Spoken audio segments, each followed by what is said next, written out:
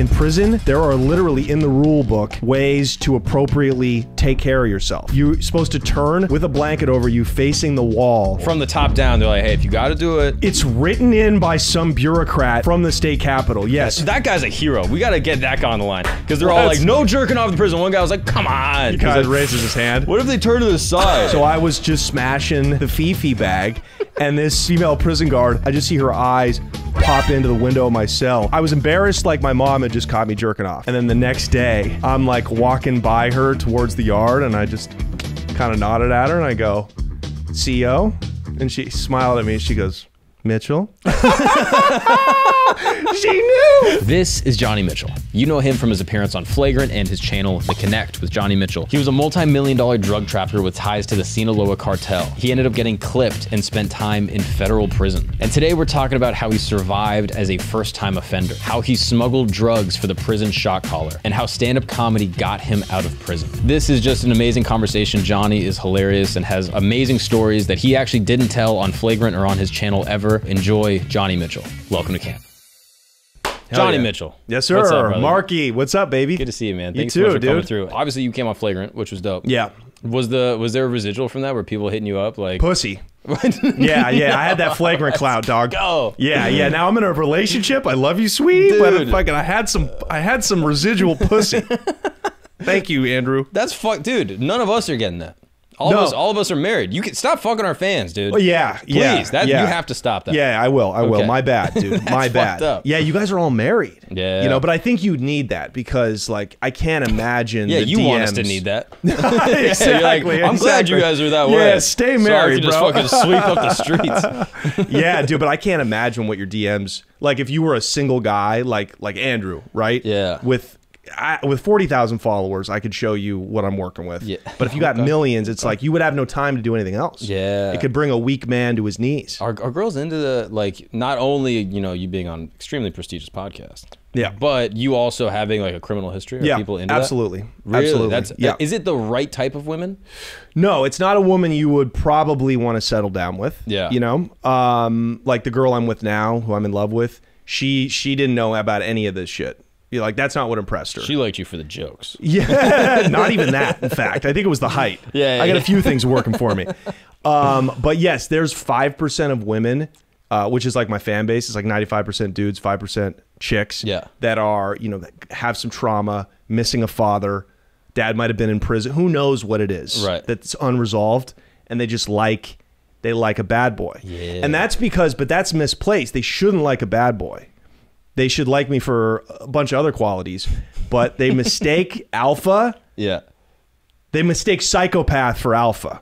Yeah, you know what I mean? Because their dad may or may not have been alpha psychopath. Well, but it's what Jordan Peterson talked about. Like women like an alpha, Mm-hmm. and psychos and sociopaths uh, have this confidence of like an alpha male. They Yeah. have the charm, the drive, these things that biologically women are attracted to, you know, for mating purposes, right? Yeah, yeah, yeah. But young women, especially, mistake those qualities in a psychopath for like a a, a alpha protector. You know what I mean? yeah. I feel bad for those dudes that are like, yo, I'm just gonna get like a ton of money and I'm gonna like fucking have all these things that will attract women, and then they don't attract the women that they actually are looking for. Right. And then they're like, dude, all these hoes aren't. Lo-. It's like, bro, yeah, they get cheated on and You're all this shit. attracting women that like vanity. Yeah, You know what I'm saying? Exactly. Like, yeah, you're attracting that type of broad. That's the one who's gonna go off and fuck Drake. Yeah, you know what I mean? Yeah, exactly. So Which good for them. yeah, yeah, absolutely, absolutely. But I am who I am first. Like I, I'm, you know, I pride myself on being this. You know, whatever whatever I am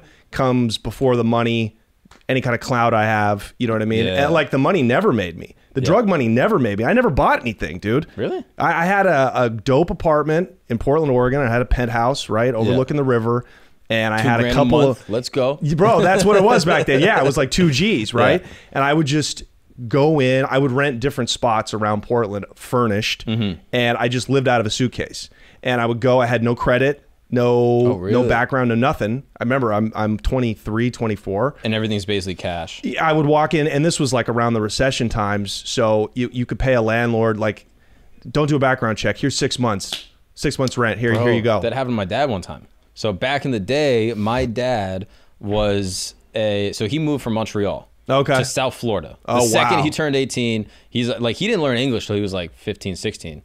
And so the second he can like learn English, get out of Montreal, he goes to South Florida because like he grew up in the shitty part of Montreal that was like he was dirt poor, like Mm-hmm. Yeah. no money. Yeah. His dad was kind of in prison a little bit. Yeah. And so he's like, bro, there's these Cuban like fucking refugees basically Yeah. driving Lambos. That's crazy. So he goes down there, starts managing an apartment. He's been like he knows a guy in Montreal that has an apartment, and he's like, yeah, you can live there for free. Mm-hmm. Yeah. Just like fix it up, be the landlord, Yeah. manage like all Yep. the tenants in the spot. Yep. And this is in like Fort Lauderdale, like Surfside.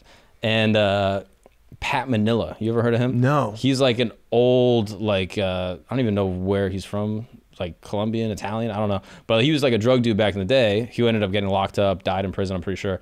And he did the same shit with my dad. Literally like walks in. My dad never been in drugs ever, never knew anything about this. He walks in one day, like he's like, "Hey, Francois, can we talk?" And he's like, "Sure." He knows his history a little bit. Pat Manila walks in, shuts the door. He's in there with like three other guys. My dad at this point is again like twenty something. He's just like, "What the fuck?" And I think he like my oldest brother is born. Like his wife is eh, upstairs in the Yeah. unit. My older brother's in there as a baby, and my dad's just like, "Okay, what's going on, Pat?" Closes all the blinds, and he's just like, "So look, I'm gonna be living here for a while." My dad's like, "Yes, you are," and then literally gets like a trash bag full of money, drops it on the table. He's like, "Count this up later. This should be good. Uh, follow up with me in a year." That was it. Wow. and he had like three units in the building. Like it, that was insane money. My dad never seen that money Yeah. in his life. Yeah. and literally just like drops it off in a bag. Boom. And so he rented three spots in the building pretty much to, yeah. to hold one to hold the work, probably one to hold money, one to hold the guns or He the, didn't ask the, questions. the hookers or whatever. He was like, Yeah. whatever you need, you Yeah. got the cash. I'm not fucking with you. Like you're it's good. pretty amazing like even like people that would call themselves upstanding citizens squares Yeah. like like how they change how money gets them to turns the lever Yeah, gets yeah, them yeah. to move shit like you know course. i'm moving into a building uh owned by a lawyer in portland and he has no business renting to a guy like me Yeah, yeah, yeah. i'm like well how's how's six months down sound and they're like oh hey look it turns out your background's fucking That still works now, clean. even without like my dad's biggest fear. I think was like crime. Like Yeah. he knew that this guy had bodies and shit, and was like he knows where my wife lives, he knows where my kids are, he knows Yeah. where I am, whatever Yeah. you want. But like even in New York now, you just be mm-hmm. like, hey, can I pay three months up front? for sure And they're just like, all right, you can beat out the other tenant that's like figuring out the broker fee. Right, You know what I mean? right, But yeah, money will just sway anyone exactly to do whatever. exactly But but yeah. but yeah no that's all i had it's all i i didn't i lived like the value of money to me was freedom that's Mm-hmm. all that i wanted you know even as a young kid before i you know really had these like street dreams these drug dealer dreams i'm like this thing moves this this is go Mm-hmm. Yeah, you know yeah. the gangsters called it go on the west coast because if you got it that's a green light you know what i mean Mm-hmm. Yeah. so, you know, I just traveled everywhere. I would be in Midtown Manhattan, staying for a week with, you know, walking around with 30 grand in my pocket, cash. Yeah. Imagine I'm 23 years old. walking lick, bro. Yeah. Yeah. Yeah. but never, though. Never got stuck. Yeah. You know? So, But you never considered leaving Portland? Like, why not just like go to LA and keep it moving? Like, well, that's what I was planning on doing. You Ah, know? before But they got, got to me up. first. Yeah. yeah. Yeah. Damn. Yeah. And then you, so I've, everyone that's listened to Flagrant at this point, like knows basically like the first part of the story, like Yeah. working with the Sinaloa cartel Yeah. and like all that shit. Mm-hmm. And then the thing that basically gets you caught up, you are shipping weed, sniffed out by a dog, they catch it, and then you get thrown in prison. Yeah. They caught the money. They never got oh, any that- work. that's what it was. Yeah. So all the guys I talked to though, that have like done a criminal past, always go from weed to coke, because it's like smaller, doesn't smell. Why did you never do that again? I was making too much money moving weed. But couldn't you have made more doing coke? with a lot more transactions and a lot more risk, maybe. Mm-hmm. But if you think about it, you know, it just depends on the price you're getting per unit. Mm-hmm. It's all broken down to math, right? So if I'm making fifteen hundred dollars profit per pound, if I'm buying it for twenty five, let's say, and selling it for four thousand, what am I getting? What can I get for a kilo bought on the West Coast? What's the markup going to be in New Jersey or New York? Maybe it's a lot higher. Yeah. Right. I'm not sure how much higher though. It just right? seems like it's like yo, you sell a key for 20, 20 G's. Like if it's going on the West Coast back then, uh, you know, we're talking 2008, you could probably get, you know, my Sinaloans probably could have plugged me for like 28. Mm-hmm. So what can I get for it over here? 32, maybe. You know what I mean? So, uh, and how many people can buy wholesale like like bulk at a time. Yeah. Not many. No, there's not many groups that can buy 20 kilos at a time. Yeah. But I got 10 guys that can buy 20 pounds at a time. Yeah. So you see the math is like every week it's the same thing, Mm-hmm. right? So it's a very it's a very small fraction of people that can move wholesale cocaine and uh, make huge money. And now that you've gone like so public with a story, being on flagrant, like obviously having your own channel, which is fire. Thank you. Are you? How many of these guys are calling you up? Like, Oh, dude, I, I got DMs every day trying like- to trying to get get my connect. not oh, but like, are the connects calling you up, being like, "Hey, man, is everything square?" Like, No, good? connects aren't calling me up. They've they've long been they've long since disappeared Gotcha. into whatever it is, back to Mexico, dead in prison. Fuck. Yeah, I'm not worried about the connects because I, I never I never talk about the connects. You know, I never I really like you know took my time standing up, and you know that's why I got whatever kind of street cred is left. It's because I didn't rat. You know. Yeah, yeah, yeah. I want to know more about the prison time specifically. Yeah. How long were you incarcerated? Uh, almost 20 months. So Yeah, yeah. it was just a, it was a cat nap, really. Like to talk, talk to somebody like Unique. I mean, he like scoffs at that Yeah. at, at, at a year and a half, two years in prison. Yeah, But, bro. you know, it was hard time though. It was like county jail, denied bail, fighting, maximum security prison, living through riots where people are getting stabbed, uh, doing time in the hole in Mm-hmm. solitary, multiple months spent in solitary, Why, you know, so why, it's why were you in solitary again? fighting, um, getting caught with contraband, uh, and then when you first get shipped off, when you first get sentenced, you leave county jail. You get shipped to. You don't get shipped straight to the prison where you're going to serve your time. You get shipped to like a holding facility. It's like diesel Right? therapy, where like they drive you around to a bunch of spots. You ever heard that before? I've heard of that. That's Yeah. more in the feds. This Okay. was in the state. They bring you to. It's just like a FedEx sorting facility. They send all the packages to one place, and then they get shipped off to whatever part of the country they're going to. It's the same thing with inmates. Yeah. So you all you go to this one holding facility, and they just wait to find where your bed space is going to be, Mm. depending on where your you know your security clearance, your security level, all that shit. I've heard that those holding spots can be worse because you don't have any papers. Yeah, though those are really bad, and but you're also locked down basically two four seven. It's like being in the hole. Yeah. You know what I mean? And so that sucks. You're like, I'd much rather be at a facility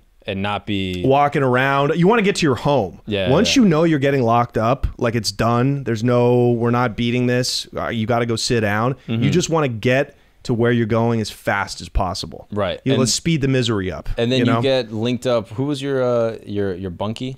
my celly. Your celly, Uh, my celly. Like Bunky. like- bunky works. I like bunkie Bunky better, works. actually. Yeah. Yeah. Yeah. Okay. My bunky. He. uh It sounds like we're at camp. Yeah, you it's know. way cuter. Yeah, uh, Jimmy. Yeah, Jimmy. yeah. I won't say his last name because I think he is still alive, but he's hanging on by a thread. Jimmy, and he was, uh, you know, he was the shot caller for the Hell's Angels, That's the right. biker gang, big on the on the West Coast. Yeah. and uh, yeah, that was that was my celly. now, part of the story that someone pointed out to me that I'm curious for clarification. I don't know how this works. Obviously, Mm-hmm. I've never been to prison. But when you're locked up, doesn't the priority person get bottom bunk? Oh yeah, um, he could have taken whatever bunk he wanted. I You- think he preferred top. Yeah, I think he did. I don't know why exactly. That- or maybe is- they were. That's a good question. Maybe because they were really coming down on him at this time. Uh, they were so- really. They were starting to squeeze him a little more. Uh. like even though he had a couple of guards in pocket, he was really like.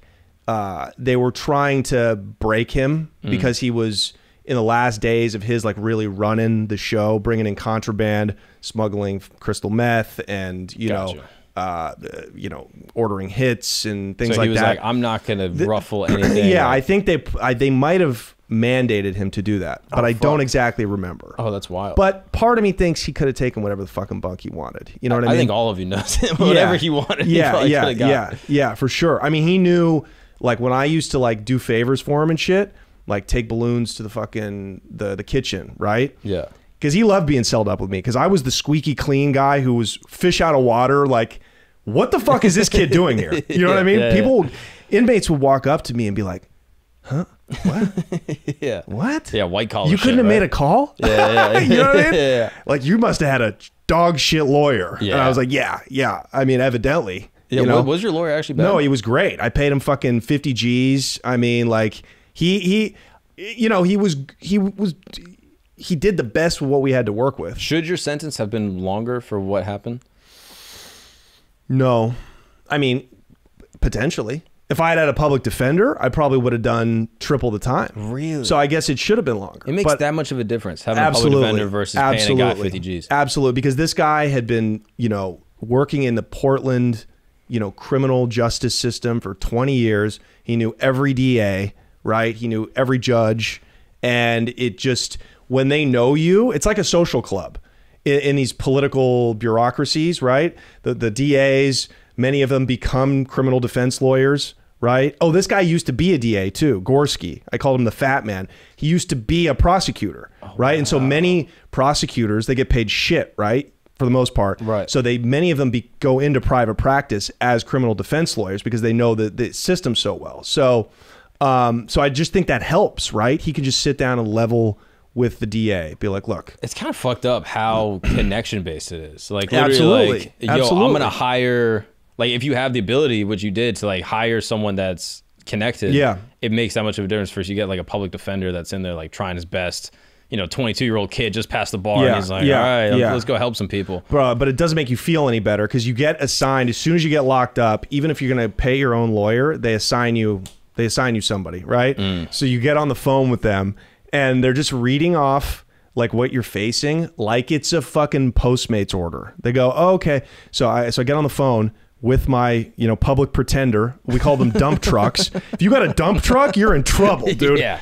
Um, he goes, uh, okay, yeah. So, uh, conspiracy to traffic marijuana, conspiracy to commit money laundering, uh, bribery. It just keeps reading it and reading it, and my heart's just sinking. And he goes, he goes, yeah, know, we're looking at about five to seven. What? And I go, yeah, yeah, get fucked. And I hung up the phone, and I'm like, and I called my mom. I'm like, get the fat man down here ASAP. Yeah, dude. Fuck. I, yeah, immediately. There's got to be like, like if I'm, I would do a GoFundMe. If I got Yeah. locked up, I'd be like, yo, GoFundMe to get me a real attorney because that's could. years of your life. Yeah, yeah, that exactly. are literally. And so were, you were able to use the money from.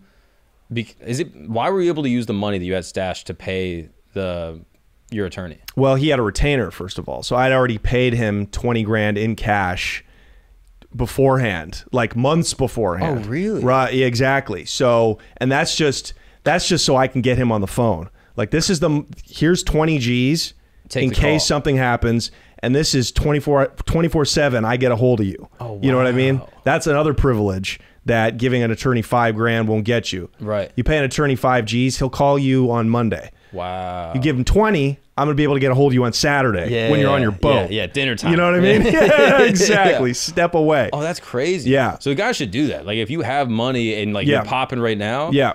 get the best fucking attorney. Oh you yes, can. if you're a drug dealer watching this show, you must if if you're rolling around like shit's sweet, you're you're heading for a crash. You're heading for a hurting. Yeah. Because if something happens, you need to be prepared. Mm-hmm. You have to you have to always in the back of your mind believe that you could get locked up. fuck. Then you got to know it's going to end, or else you're probably going to end up snitching too, because you're going to get caught and you're going to be so stuck and you're going to panic and you're going to open your mouth. You know? Yeah. And did you, when you got locked up, did you ever like pay for protective custody? Or no, like you never no, did that? No, no, no, Why? no. Because, well, first of all, protective custody going to PC, uh, PCing up. Mm-hmm. That means I would have to. That's a completely segregated uh, wing of the jail or prison, right? Gotcha. So I would have to make up an excuse. I'd have to be like, "Hey, I'm scared for my life." They don't just send you there. You know Mm-hmm. what I mean? So I would either have to get beat up, or I would have to, you know, pretend that like I was getting threatened. Do you guys ever do that? Would they ever start a fight, lose just to go to PC? Uh, some gangbangers would Really? because it would get it, that sometimes, especially in Cali prisons, but it happened in Oregon too. Guys who are really on like level four yards that are just living a crazy gangbanging lifestyle. Like everybody stabs somebody, everybody's probably been involved in murders. They can't take it anymore, and, and they literally they just go and they say, "I'm I'm breaking. I'm at my breaking point. It's too violent. You got to just I'll I'll play spades with some child molesters. I don't care." Wow. Yeah, but I'm not a gangbanger, so it's like Right. I'm like if all I got to do is fight to stay in the general population, to stay on mainline, like that's all. Then let's fade. Yeah, yeah. You know? And you knew how to fight growing up. Yeah, yeah, we were always getting into street fights. We were Right. always getting into bar fights. Like Portland was not as uh, gay and and hipster back in the '90s. Like, believe it or not, like I grew up with like a diverse, you know, body of people. Like I went to a public school. We were involved in, you know, everybody was like getting into some shit. A lot of people got locked up. A lot- I knew a lot of people that got locked up for shit that I was doing. Oh, really? You know, weed trafficking back in the, the early 2000s, the mid 2000s on the West Coast was like crack was to Harlem back in the 80s. It was everybody was getting money. So it was not so unusual uh, what happened to me. You know what I'm saying? When I mean, you- I guess it was a little bit, but like we knew a lot of people that got locked up. When you got there, were there people like, bro, what's up? I knew some people from high school. Yeah. Yeah. They were sucked up though. Nobody there for like real crimes, junkies, like, Gotcha. which was sad. Were they surprised to see you? Yeah, absolutely. What is that conversation?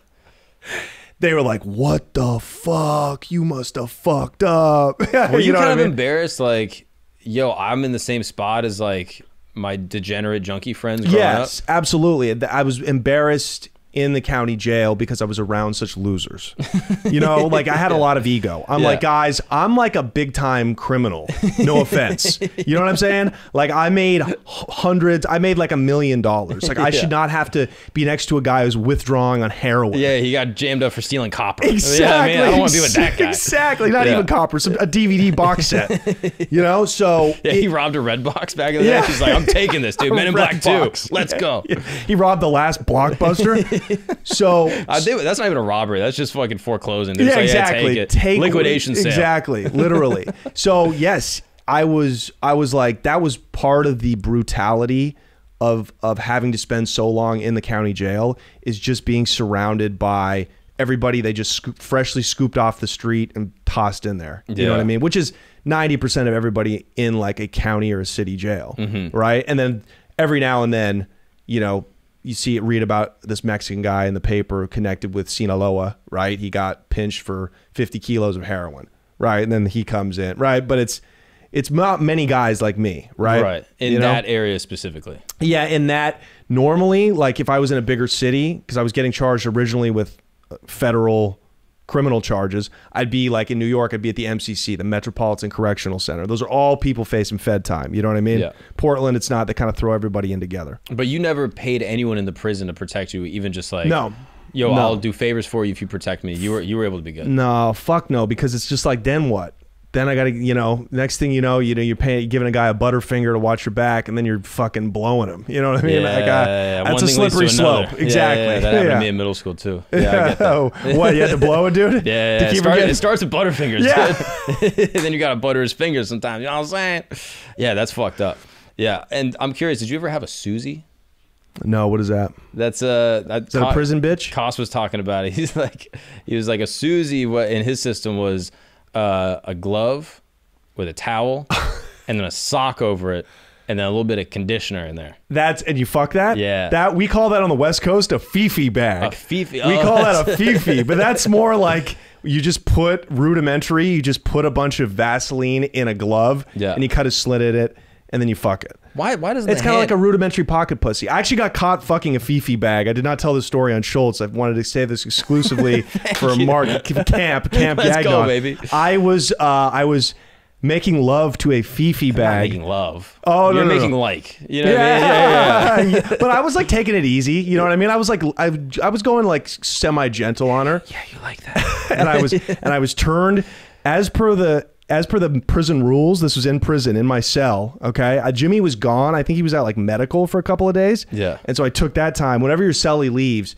That's when you take the time to really get some fucking jerk session in. Yeah, you get some fucking you time. You light Yeah. some candles, Yeah, dude. yeah, make it romantic. You fucking have a little pruno. You know, you get a little twisted. Wait, Pruno is like it's the like- prison juice. That's Oh, the fuck. that's the prison booze. So it's literally like like uh, fermented prunes or some shit. It's uh, it's a good guess. oranges. That's a good guess. No, that is a good guess, I- and it might have come from that, right? At, at my prison, it was just orange peels mixed with so many packets of sugar and then they just let that, and then a few other ingredients. Is I don't know. I never was involved in making it. There was always there'd be always one. It was like a trade in prison. That seems like very Portlandy. They're like, we're gonna homebrew some beer. yeah, it's like pickling or something. Yeah, Yeah. exactly. yeah. So there yeah. would be those guys. This is craft Pruno. yeah, you're like, dude, this is amazing. yeah, yeah. A New England Pruno. I love that. Yeah. So so you but you would buy it. You would just buy like bags of it. And then you would just twist it up and, And you just would put buy it in your yeah of course yeah fuck. and Jimmy like I don't even think I had to buy it like Jimmy had the line on Pruno cigarettes He knew the guy that had the vineyard and would just, Exactly. Yeah. Dude, our, our cell looked like a 7 Eleven Oh. with so many snacks, so many fucking, uh, you know, Jordan sneakers. And because he was the shot caller, bro. So he would, the way he traded for his drugs that he would get in there was like, you know, commissary items. And guards Uh, didn't care, like, or was it all hidden? It's hidden, and then some guard guards are in on it, which we'll get into in a second. But let me uh, finish my story about fucking the Fifi Yeah, I bag. like this. So I'm I'm hitting it from the side, okay? Because check this out. In prison, there are literally in the rule book ways to appropriately take care of yourself. Okay. You're supposed to turn with a blanket over you facing the wall, and that's how that's how you jerk off, right? And that's to prevent people from like standing, looking through their cells, like jacking off, looking at the female prison guards or whatever. That's against the rules, I'm assuming? Or, is, that, or is that just like a code thing? That- that no, no, knows? that's the rules are you have to turn and face your the wall with a blanket over you. That's how you jerk off. And that's a prison rule. That's a Like- prison Like from the top down, they're like, hey, if you got to do it, it's written in by some bureaucrat from the state capitol. Yes, that's it's so in funny. the rule book. Guys I in was the like, Congress meeting were like, well, they got to jerk off. yeah, yeah. How they- I that guy's a hero. We got to get that guy on the line because they're all like, no jerking off in prison. One guy was like, come on. Yeah, all these feminist chicks are like, we do not accept this. And a guy's guy like, raises his hand. What if they turn to the side? what if they're kind of like lean, like their ass is out, and they're like, all right. that so okay." so yeah, I was hitting the feet. I didn't have a blanket over me. I didn't have some stifling. I needed to, you know what I mean. I was trying to get in there.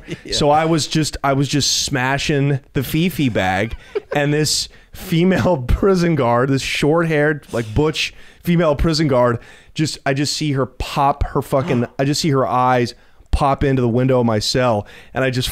No, no, and it was like the I was embarrassed, like my mom had just caught me jerking off. That's so And then she just kept it moving, and then the next day, her next shift, I'm like walking by her towards the yard and I just kind of nodded at her and I go, CO? And she smiled at me. She goes, Mitchell? she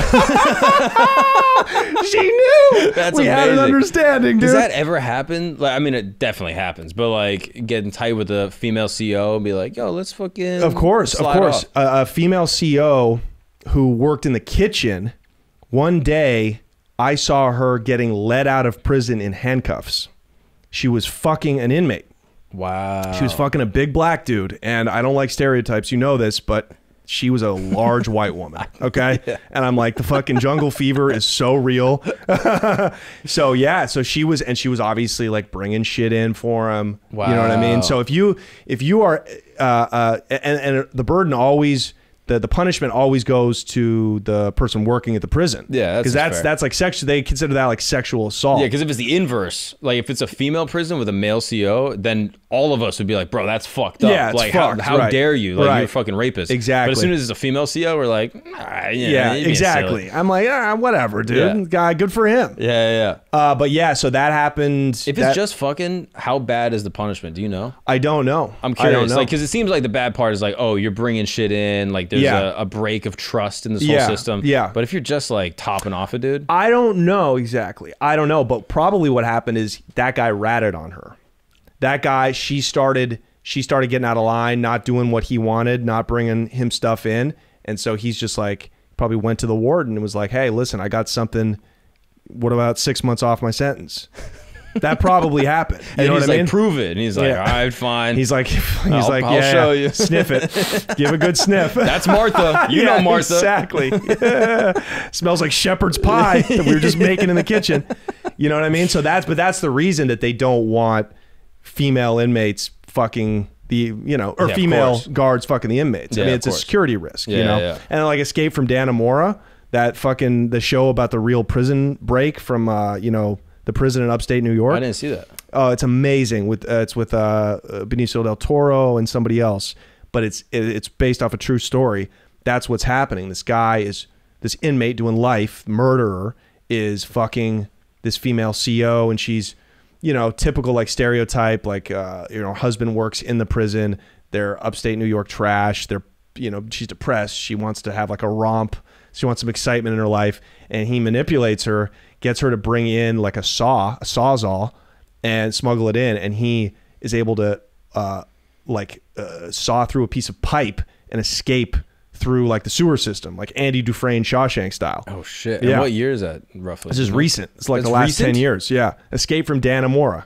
Oh, that's crazy. Yeah, And yeah. then what? Do you know the full story? I don't want to ruin this great series. No, it's now I'm way amazing. Well, no, they they they they escaped. Him and his boy fucking escaped, and they were on the run for like a couple of months, but they got him. They ended up killing one of the guys, and then they, uh, you know, the rest of the other guy. and then the CO obviously gets thrown in prison too. yeah, she does some time. It's not a lot. Of, you do a couple of years, but I mean, But still, bro, a couple, couple of years. years, I mean, yeah. that's crazy. You got to get Yeah. a girlfriend in there. It's a whole Yeah, I nightmare. Know, gotta- imagine having to have a girlfriend for two years, dude, in prison. it's a long Ugh. time. It's a long time to have a girlfriend. That's what I'm saying, know? dude. Damn, Yeah, that's crazy. Yeah. I- that's true love, though, if you really think about it. that is like the hottest. That is hot. That's Yeah, hot, that's- dude. Is that what you were thinking about with your Fifi? oh, yeah, dude. You're like, you're gonna get me out of here, babe. Yeah, you're gonna fucking. Oh, we're gonna go to Mexico. What's up, guys? We're going to take a break really quick because I got to talk to you about a very important issue. I was riding my bike home the other day over the Williamsburg Bridge, like I do, back over to Brooklyn, my hometown. You know what I'm saying? County of Kings. And on my way, right before I left, I was like, yo, I'm going to order a little bit of Uber Eats, get a little something delivered to the place, right? Here's what happens. As I'm sitting outside my spot, I'm like a block away from my place. I'm pulling up. A delivery guy flies past me, almost knocks me off my bike. I almost fell off my bike. Keep on biking, and I see the delivery guy that almost knocked me off my bike. Guess what? Delivering my food. All the animosity and resentment I had towards him in that moment all went away because I was like, you know what? You almost killed me to bring me my enchiladas. Thank you. Thank you. All of my anger turned to forgiveness. But had I broke my elbow, you know what I could have done? I could have hit up my friends at Morgan & Morgan. That's right. Morgan & Morgan is the largest personal injury law firm in the entire country. Over 100 offices nationwide and more than 800 attorneys that want to hear from you and want to hear your claims. That's right. And now here's the cool thing with Morgan & Morgan. There's two cool things that I love about these guys, all right? Central Florida legends, Morgan & Morgan. Two things that I like. One, submitting a claim it's about as easy as ordering food from Uber Eats. Yeah. That's how easy it is to submit a claim to Morgan & Morgan. Eight clicks or less, you can submit a claim. It's like buying something on the internet. It's nothing. Submit a claim to them risk free. Here's the other cool thing you don't pay a single dollar unless they win your case. Yeah, you heard me right. You don't pay a single penny unless they win your case. You got nothing to lose. If you're injured in an accident, you slipped, you got rear ended, whatever happened, you could submit a claim to Morgan & Morgan. And if you wanted to do that, you could go to forthepeople.com slash gagnon. That's correct. Forthepeople.com slash G-A-G-N-O-N or dial pound law. That's pound 529 from your cell phone. And that's for the people, F-O-R, the people.com slash gagnon or dial pound law, pound 529 from your cell phone if you want to reach out to them, if you want to submit a claim. Now let's get back to the show.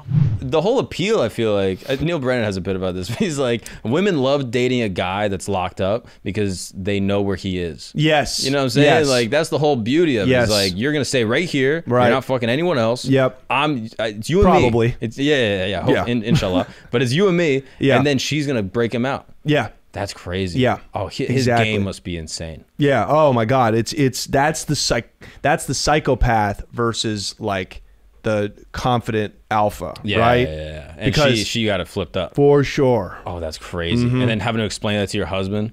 Yeah, babe. You're like You're gonna laugh. She, she- yeah. But she's like, uh, he's like, just tell me you cheated on me. She's like, well, worse. I there's now a criminal at large, Because- very large actually. Now that you think about it. Holy shit, they're spending so many resources to fucking track this guy down. Yeah, his taxes are going to get my ex back in prison. Fuck. Yeah. Yeah, that's brutal. This is an interesting piece of human psychology. Yeah. Do you think so? Obviously, like Stanford prison experiment shit. Like you put a bunch of human beings in a room. Some are guards, some are prisoners. Mm-hmm. Yeah. Like you get this crazy god complex. Yeah.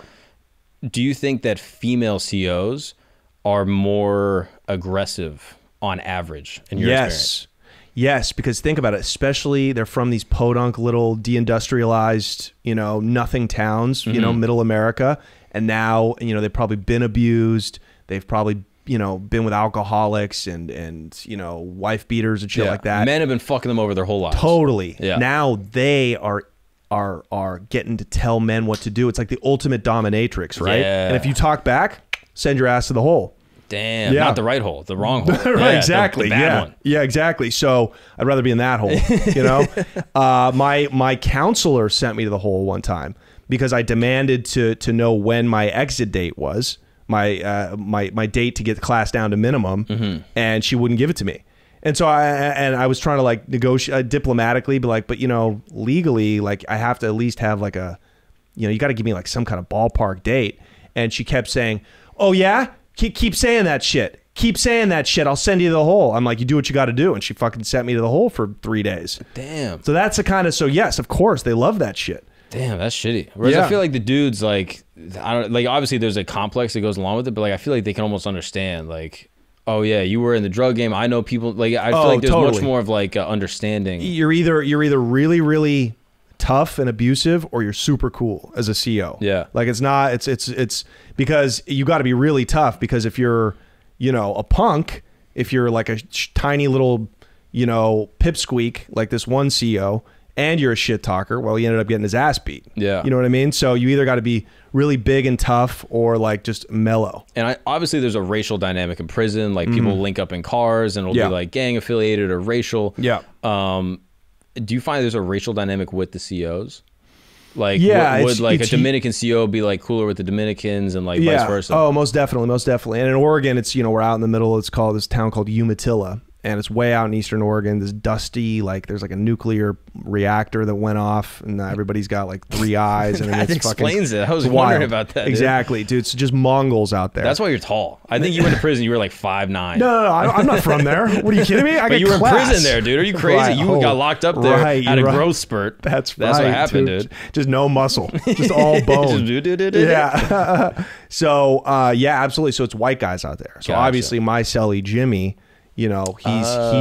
he's like like hey brother. It's like white guy to white guy. Just Hulk Good- Hogan's. Good white dude to good white dude. Yeah. Like they they get the shot callers of the white gangs get on a level with the white COs and they're able to manipulate them because it's like, hey, look, you know, we're we're outnumbered here. We, you know, uh, more and more they're sending more and more blacks out here. We need to really stay strong. You know, how about a thousand dollars to bring me in a drum of tobacco? Right? Whoa. It's hard time. So that's how that's kind of how that goes, right? Oh, that's crazy. And, and a lot of these people know people from the outside, right? A lot of these COs maybe even grew up with uh, some of these guys, right? And they're they're one bad decision away from being inmates themselves. Fuck. So yeah, that- so there's definitely a racial dynamic to it. Yeah, that understanding is is tricky. And is that why Jimmy got like some preferential treatment? Obviously, like being a shot caller, like Yeah. he was in there a while too. Yeah, he's he was already in the system 20 years when I was in there. With In that same system. Uh, no, not in the same prison, but in the same, yeah, Oregon. He did time. Uh, they had tried to move him to different states because he was such a, a good organizer. He was such a problem. Yeah. Uh, but he'd been in every penitentiary in Oregon, basically. Yeah. And so he was a legend. He had juice. Guards already respect that. And then, yeah, he just, he had the manipulation of like just a psycho, like a criminal. Mm-hmm. And he was not, it was nothing for him to be like, you know, hey, this is, this is my cell block. Are you going to work with me, new new CO, or is there going to be a problem? You know? Yeah. And it, was there one singular guy in the whole prison that like what like really ran it, and was it Jimmy? Or is it not he- as organized? He as ran. He ran like his own car the for for the uh, the Hell's Angels. Gotcha. And then there was the Aryan Brotherhood, who's not as strong in Oregon. Gotcha. So those are the two white power groups, I would say. Yeah, but the Aryan Brotherhood seems way more uh, Aryan. Yeah, what they're Like, intense. yeah, there seems like a way like greater racial, hate, 100%. hateful dynamic just based off 100%. word alone. I don't know anything about. Well, it. you know what's fucking weird is that like there's like in California they have like Chicanos that run with the Aryans. So it's Hmm. it's even though like they you know they call themselves the Aryan Brotherhood, like it it it weirdly bleeds over sometimes. Yeah. You know, um, you know the Nazi lowriders. Lowriders. when do you see a Nazi with a lowrider? That's some Mexican Chicano shit. yeah, yeah. Um, but they're they're not as sure they're they're racially segregated like every other gang, but they take prison so fucking seriously. You know what I mean? I'm like, guys, what? let's just relax. Can't we Yeah. just relax? We're ha- we're playing cards, dude. Like chill. I remember talking to one of these guys who really had a problem with me playing basketball with the the blacks, Yeah. right? Um, I'd be like, I remember trying to level with him. You ever try to level with a fucking guy doing triple life? Never. I'm like, look, dude, like we, I got all like f- nichey philosophical. I'm like, I know we're locked up in here, but like everybody's got a choice about how we act. You know, man is just the sum of his choices. Do we have to looking at you. act like animals? And he's just like, what?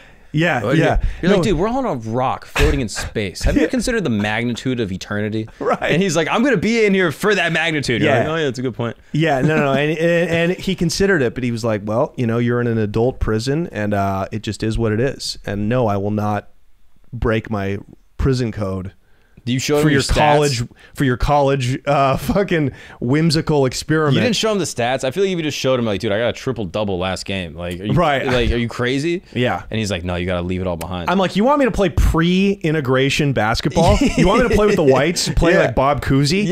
Is this it? Just like dribbling like this out in front of you? yeah, just fucking Bank shot. Yeah, into a peach basket. Yeah, Like, no, yeah. well, I want to play ball. I'm trying Yeah. to euro step on these motherfuckers. Like, Yeah, that's dude. So up. it was like, um, but yeah, they take prison really seriously. Like they don't fight. They, they there's no fighting with the Aryan Brotherhood. And did you right? ever have to get a weapon? I mean, yeah, I carried. The, Jimmy gave me one my first first day in prison. And what are he we was like, talking? "This is my shank." So he didn't give me like a bone crusher. What's- that's like a that? piece of that bone crusher is like a piece of steel. That's some shit. That's like either a real Uh, knife, right? Where I'm from, we called that a piece of steel. yeah, yeah, yeah. We didn't call it a bunk. yeah, yeah, yeah. We called that a bu- but that a bone crusher was anything like uh, wielded from steel or out of like a real uh, from a real knife. Mm-hmm. He just gave me like a fucking. He just gave me something to like carry around. Uh, you know, something small, easy to carry. It was like uh, it was like whittled down plastic, like really finely whittled down plastic. Maybe I don't know, maybe six inches. I'm looking like my, my penis size. Yeah. I'm like, okay, yeah, maybe the size of like a the size of a respectable Yeah, cock. just an average. You know what I mean? Yeah, yeah. No, no, I wouldn't say it was average. I would say it was a respectable, Yeah, an yeah, upper middle class size, uh, Something proud. size size piece. You know and, what I and mean? how are they making these? Just like out of like shampoo bottles that they like fire down or something? like, Um, I I never heard about that. I mean, a lot of them were made in the kitchen. Uh, a lot of them were just toothbrushes whittled down. You know what I mean? Like when the funk was on, when it was like beef on the on the cell block, you could fucking hear the next door neighbor like getting his shit ready, right? Like shit like that. So, um, it, it was harder if you had a piece of steel, you had juice because that means you got somebody from the wood shop, right, to you know, whittle it down for you. You probably had a guard look the other way while they got it through the metal detector. That was harder. That was going to cost you some money. You know what I mean? Oh, wow. Um, so yeah, but everybody else carried around like what they they could make. But you know, you get that in the the brachial artery, you could die still. So yeah, that's a wrap. yeah, yeah. And so you carried that around. I carried it around when we went to like we went to the chow hall. Uh, showers and shit. Like, um, were you a boots in the shower guy? when when we knew it was time to. Yeah, Yeah. yeah, we took our boots to the shower. Yeah. Yeah, especially like when when the funk was on. That's when you would you would walk, you'd take your buddy, and uh, one would stand guard while you showered in there, and then you would switch it up. But everybody had their boots on, butt naked. It looked like black porn in the '90s. You know what I mean? Yeah, yeah. So um, OG Mudbone. Was- Exactly. yeah, Yeah. I'm like, dude, I can fucking really get. I get why they do Yeah, this. Do you ever I do, can get leverage. Do you do that now? You got to. You'd be like, Fuck with boots on? Yeah, I, I learned this trick in prison, babe. Get you get bust the Tims out. Well, then I gotta put the. I gotta get naked and I gotta put the boots back on. It seems Being naked with shoes is a very unique experience. it really If is. if no one's done it, I've done it at home just as a fun game. Pop out of the shower, like my Air Max is right there. I'm like, I'll slip these on. You know what I Right. mean? And it feels bizarre. I kind of feel bad for like Monster Energy drink girls. Uh huh. Like, like Right. you, you ever see them like at like a promotional event? They got to be in like a bikini. Oh, and then yeah. also like running shoes. Right, I'm that's like, basically it. But you're aerodynamic. Yeah. You're aer- you can fight, you can fuck. Yeah. You can you can do a lot. You can run. yeah, you, can know? do anything. It's kind of freeing. Yeah. It is a nice I guess it's a nice feeling. it is nice. You get So- grip going. Yeah, yeah. I'm like, I get it, dude. I get why these fellows like to fuck with construction Tims on. Yeah, dusty and shit. They got residual fuck Yeah. juice on it. You're like, jeez. All I need is a wife beater. Yeah. It doesn't quite fit. yeah. yeah, Yeah. that's kind of wild.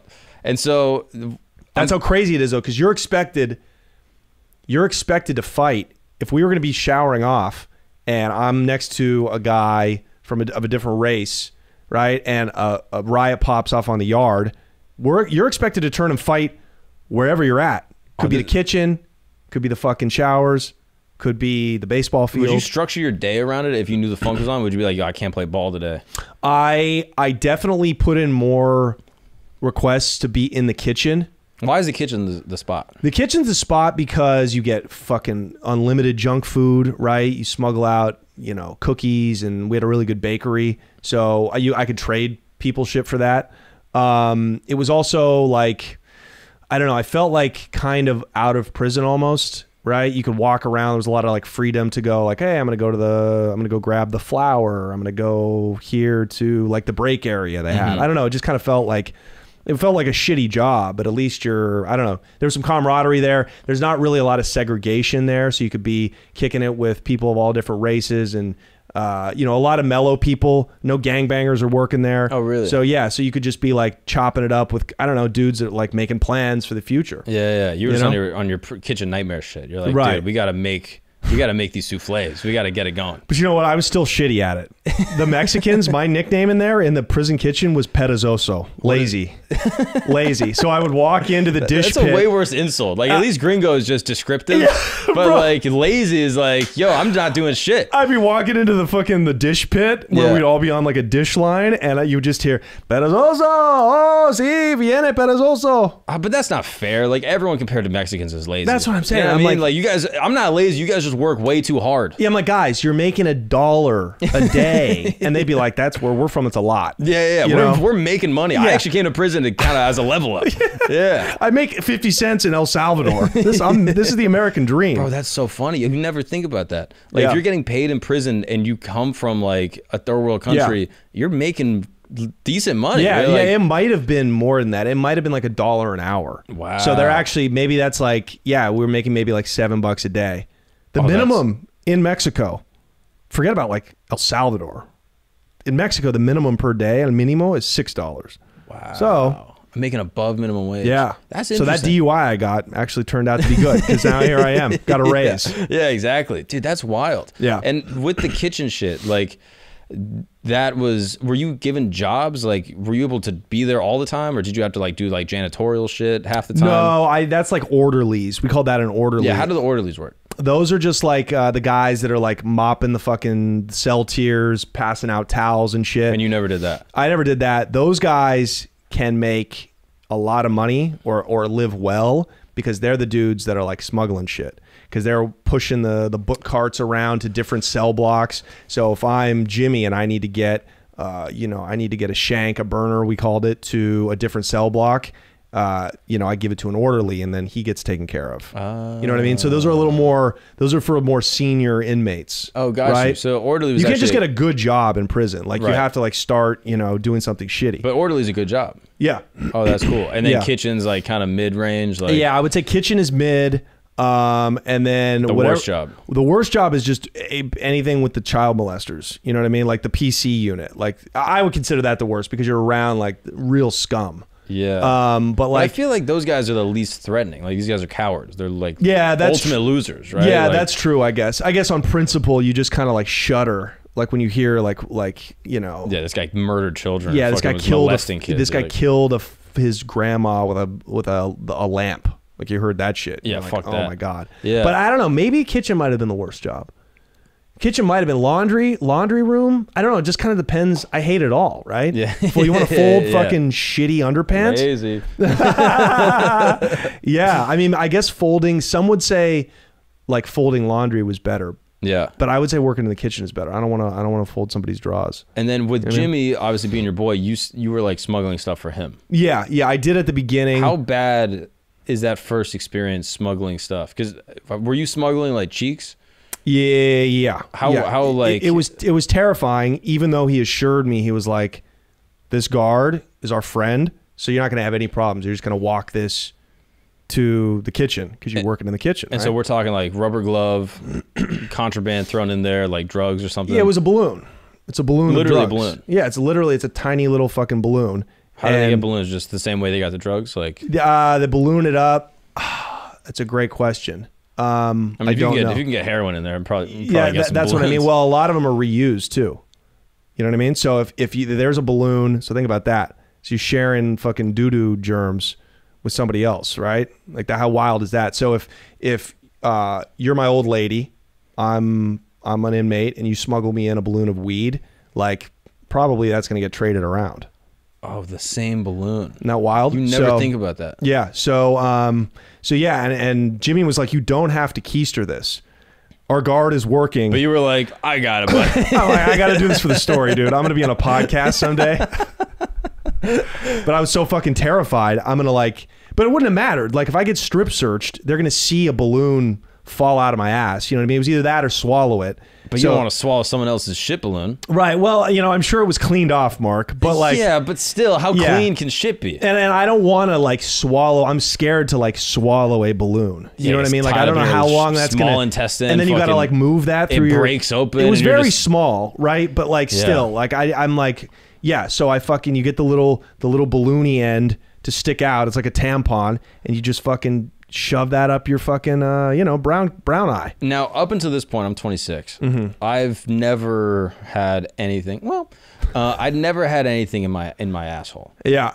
I've showered thoroughly. And Yeah. like I've, that's pretty much the extent of it. But the most is like a finger, Like a, your like own the finger tip up there. of a finger kind Yeah. of vibe. You know what I mean? I've just never explored it. Maybe If you're asking if, if it feels good, I mean, fantastic is more the word.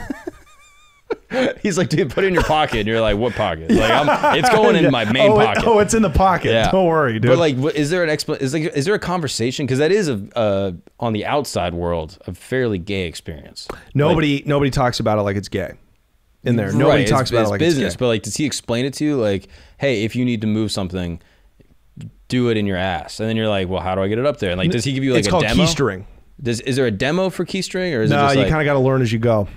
You kind of got to learn as you go. But it's like, I it's like the, jerking off. You just kind of discover it on your own. exactly, exactly. But you're like you're either going to keister it or he goes, you don't have to keister this. You can just walk it there. And I'm like, uh, I want to keister. I'm just I'm paranoid. You know what I mean? what's the first time you keister? Like, like, are, what's going through your head? Like, what is the feeling? In like, literally, like, uh, it's it's a mix of like terror with just concentration. It felt like being back moving fucking 50 pounds on the highway, right? Oh, really? So it's it's adrenaline. It's like let's focus. but I feel like We're that would get tighten there. that would tighten up the sphincter. Uh, sure, You know sure. The shit Like, shoot, yeah, yeah, like yeah, That, I feel like that would lock me up. I'd be like, oh, fuck, I got to think of something different. yeah. But you know, I mean, you you do it uh, before lunch, Oh. right? And you, Actually, yeah, I did it before lunch, so I hadn't eaten. do you lube right? it? Uh, I put a little mayo on it. We had some mayo packets. dude. Yeah, and spread it around. And uh, Does anyone running- tell you mayo, or are you just like, I'm gonna just do this my way? I'm, I'm gonna do this. My this is you my could journey. use spit, dude. Yeah, I suppose so. But I was my mouth was dry. I'm, I'm I'm scared. You know, my I had no spittle. I, mean, I could have used the Vaseline for my fifi. Yeah, you had a fifi, I had dude. a fifi. I don't know. So, but I had, I, you know, You who knows what goes through a young man's mind? yeah, I mean, Yeah. we know what goes through his ass. This fucking yeah. egg deposit. That is Yeah. wild. Yeah, And so just so- a, a little bit of mayo, and you go on your bunk, and Yeah. you throw the blanket on, Yep. and then you just kind No, of no, like, no, no. I didn't do it in my bunk. I did it in the bathroom. Okay. Yeah. So you go into the stall and you fucking, you know, you get it, you lube it up, lube it up with the mayo, my Have little you- fucking and it just- keister sandwich. personal question. Yeah. Have you ever done a keister sandwich outside of prison, like before this? Like you're with a No. girl. No, I don't even like shit. That's what's wild is like I don't like any ass play, even with my chick or Yeah. you know a Like Colombian fingertip? hooker. Like I just don't. Fingertip. Yeah, fingertip. Ring the doorbell. One fingertip. Time. Yeah, right. dong. Exactly. Yeah. Exactly. Yeah. Yeah, yeah. But like, consider that a balloon, a drug. It's not like it's, it's not a water balloon fight. This is a very small. Like it's really they they take two grams of meth and they ground it down to something that's just a little bigger than your pinky, Oh, that's right? not bad. So it's like they they get a lot in there. Yeah, yeah, yeah. So it's it's it wasn't like um, you know, it wasn't like a super, uh, you know, I didn't have to like uh, you know, jam it up there. I didn't have to tink tink tink tink tink. You know, yeah, make a I statue got it of in there. Yeah, exactly. Exactly. But you like when when it was in, you knew it was in. yeah, Yeah, I'm like, okay, it's in there. I can get it out. Because Like that's it- the other fear. Like, you know, I've seen stories, not personally, that like a guy will like be playing with a dildo or some shit or like lose it in his Yeah, ass. yeah. Oh my god, you talk to anybody who works in an emergency Yeah, room. it's It's like, it's "Boy, I tripped." and dildos. Yeah, I would take a gunshot any day of the week. Like 50 Cent got respected after taking eight shots, but imagine he has eight dildos in his ass. Like he falls off the face of the map. He's not a rapper anymore. If I got a dildo stuck in my ass, I'd be like, somebody shoot me, and I could say I got Yeah. shot, and then the guy rammed it up my yeah, ass. exactly. That's a way better story. I would do that. Self-inflicted. They're like, dude, the bullet was rayed against you, and the gun's in your name. You're like, look, it was a freak accident, Ah. dude. But yeah, that's just like, and you were never afraid of losing. You're like, as long as the tip is out, I'm yeah, good. yeah, exactly. But honestly, like you could just shit that out. Like you just you just eat, and there's enough pressure. So then you walk it down. Yeah, How long's the walk? Like, the walk is like from our cell block to the kitchen was maybe like an eight minute walk. It was the other side of the prison. so you kind of squeak your way over. Yeah, I'm like, I'm like, just don't come, don't come. If you come, you're gay. Don't. You're just Brock hard the whole time. Yeah, yeah. You're like, CO, my lady. I get there, I'm like sweating. I'm like, who's got a cigarette? I gotta chill, dude. They're like Fifi time. You're like better. and then you get there, and Yep. then how does it come out? You go to the bathroom, you just fucking, you give a little squeeze, bam, I got the end of it right there, boom, bloop, wash it off, and then I know the guy that I'm giving it to. and then you can just pass it to him. Exactly. Whoa. Yep. So And I then- did that a couple, several times, several times. Next time I use ketchup. I did that a couple, several, Yeah. many, every day. I did it every day. Yeah. Ah, that sucks. but I quit doing it. Jimmy quit have quit having me put in work for him when he knew that like I had a date to get class down to minimum and I was already like doing stand up in these you know talent show nights that they were having. Yeah. And I, and I was like writing scripts like by candlelight in the middle of the night. I would just be like writing Oh, you're doing furiously. Oh, I I was di- writing scripts and I didn't know you were doing scripts. I thought it was just stand up. no, I was doing stand up, but I didn't think stand up was a viable thing you could even do. Like I didn't grow up watching like Mitch Hedberg, Right. Or watching Tosh, Daniel Tosh on like you know late night Comedy Central. Yeah. I knew three comedians. I knew the rock stars. I knew Chris Rock. I knew Dave Chappelle.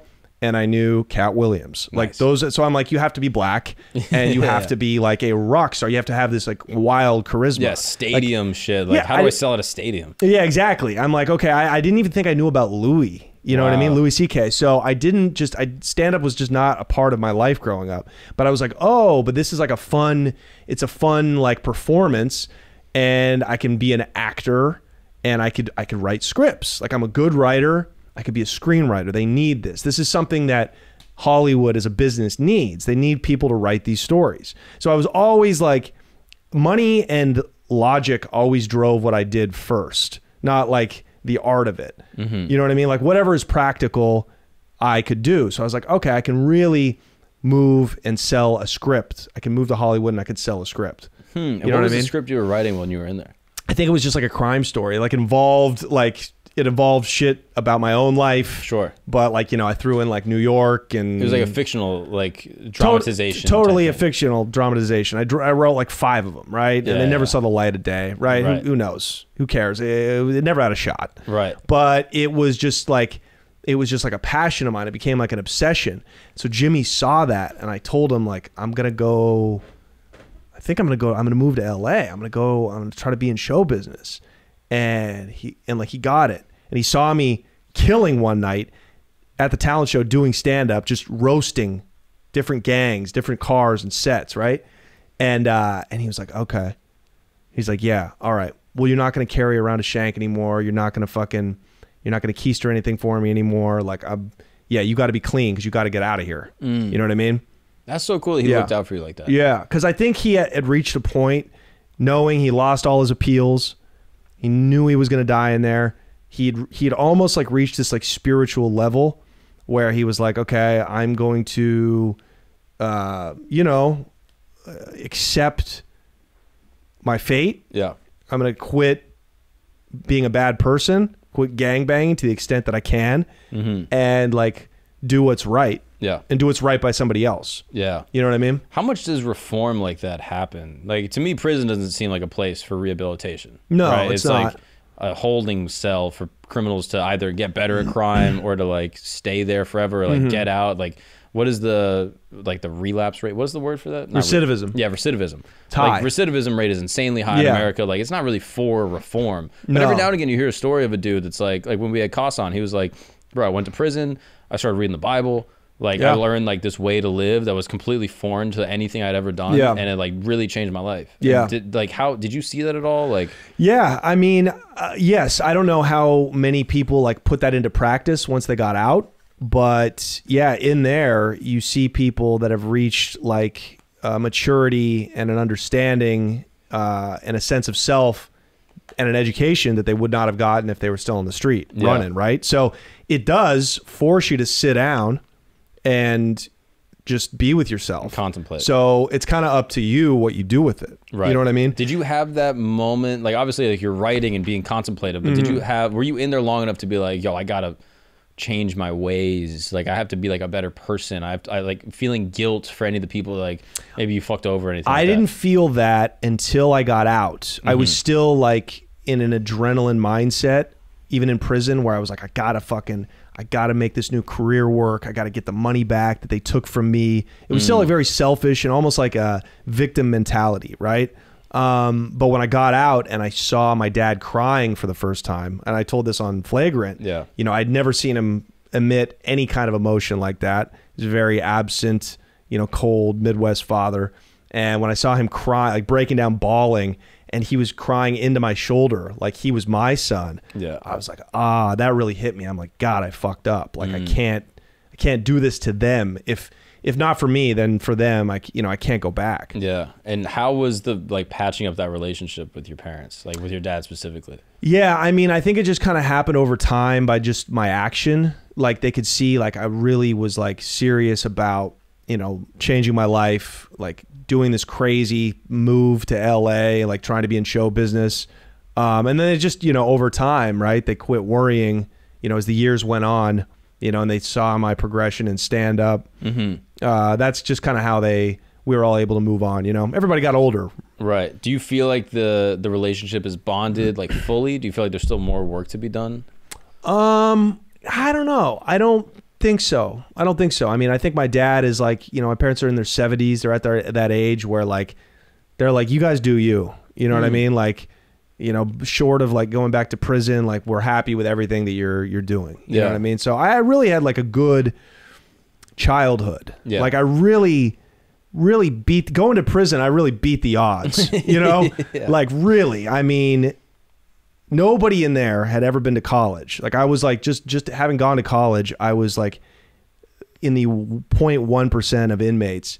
But to have two parents Yeah, it's that like gave a shit, it's like low. unheard of. What do you think it was? Like fully contemplative, like fully like psychoanalyzing yourself. What do you think the motivation was to behave in that way? Like you could have made money a, a myriad Mm-hmm. of ways. Like you could have had a ton of different careers that probably would have given you the same high. You know what I'm saying? Like I'm not sure though. I mean, the high was a huge part of it. Mm-hmm. The identity was the big part of it. like It was what were you battling internally that was like, yo, this is what I want to do, and this is the way I'm going to make money and ha- live my life. Yeah. Well, it was, as I said, like building an identity for myself, right? It was uh, not wanting to have a real job, like seeing my parents, like, you know, they did well, they were middle class people, but they fucking, at the end of the day, they were exhausted and overworked.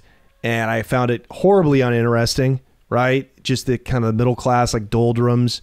Like, there's no story here. Yeah. I've always been obsessed with story. I'm like, what's the story of your life and Yeah. identity? And so you kind of build that.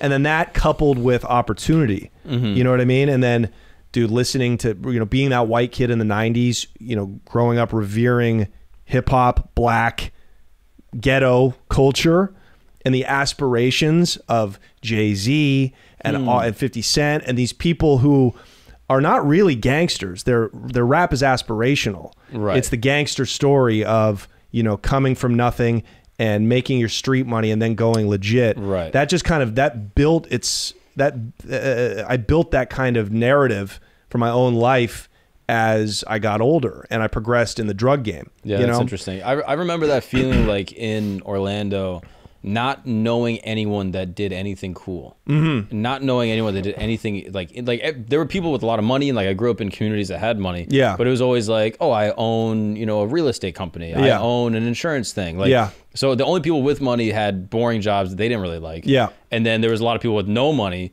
that had boring jobs they didn't like. Right, And I was like, damn, like Yeah.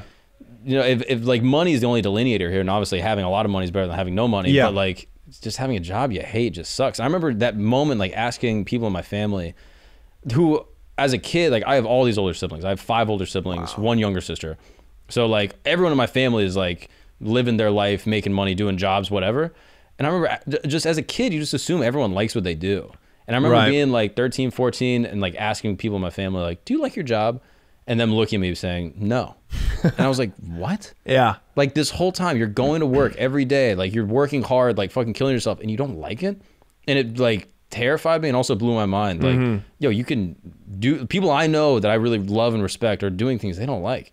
I And- Mm. always thought work was that way. Like I always looked at that like, oh, this is why it's work. Right. Like from a young, from seven years old, I was like, I want to play in the NBA because Mm-hmm. that's money, that's freedom, that's not work. Yeah. Even though it's work, it's Mm-hmm. a career. You know what I mean?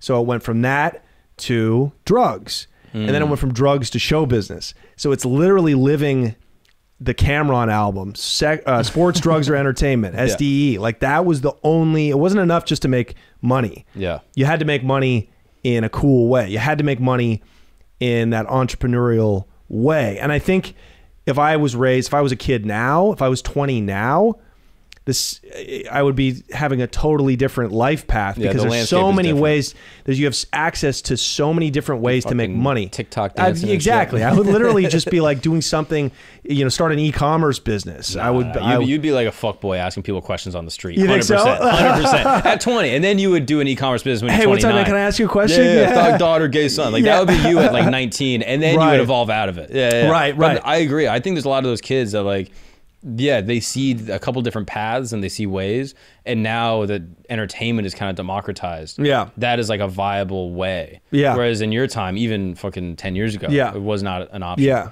yeah. which is kind of crazy to think about. But I remember that feeling being like, yo, I don't know anyone doing anything cool. And the idea of trying to do entertainment was just like, like, like my dad and people in my family just being like, bro, work is a thing you have to do that no one likes. Hmm. and just yep. being like paralyzed by that idea. Yeah. Like, and so I was always trying to like hedge my bet. Like, yo, I'm mm-hmm. going to do entertainment, but like keep it professional. Mm-hmm. So I was like intern at the Laugh Factory. Yeah. Where I was Yeah, like, yeah, yeah. I'm going to be as close to the thing as possible, but never fully jump in. You are very responsible. You are very Too responsible. You are a very hard worker. You're a very like, you know, you're you're a lot of ways you're by the book. Like you really you see how it's supposed to be done and you do it very well. Yeah, that's true. You know what I mean? Like you see what needs to be done. I'm trying to do that less. you get a lot of you get a lot of that from Drew. You get Yeah, a lot of that from Andrew Schulz. Yeah, for sure. I mean, Um, he's like the master of just like strategy, like understanding what to do, coupled with like Yeah. fucking you know, generational talent. maybe Like, you don't always want to make a thumbnail with a goofy face, but like that's what is happening now. Yeah, exactly. You know what I mean? Yeah. So, and I,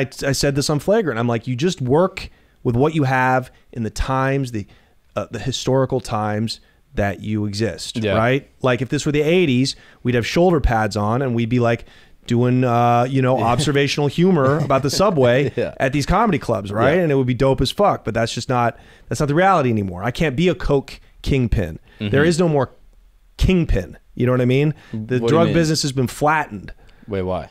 because there's so many different drugs because there's um, because nobody's a kingpin anymore unless unless you're you know one of the three cartels in Mexico hmm. because there's you know there's just a there's less demand overall there's more demand for drugs there's less demand for one kind of drug Really? for sure for yeah, sure I guess that makes it. Like back in the day, it was like heroin, weed, coke slash crack. Those are the good days. Those Yeah. are the good old days in the 80s when Unique existed, Yeah. right? Now everybody wants fentanyl and fucking synthetic weed and and yes, there's coke, heroin, but heroin's cut up with fentanyl. It's like it's just, you know, it's I just use drugs as an example of like well you just have to make make do with what you have. That's why I sold weed because like that's what was working. Mm-hmm. Yeah. You know, and I got very lucky. Yeah, and this might be a stupid question, but like, were you not responsible as a kid?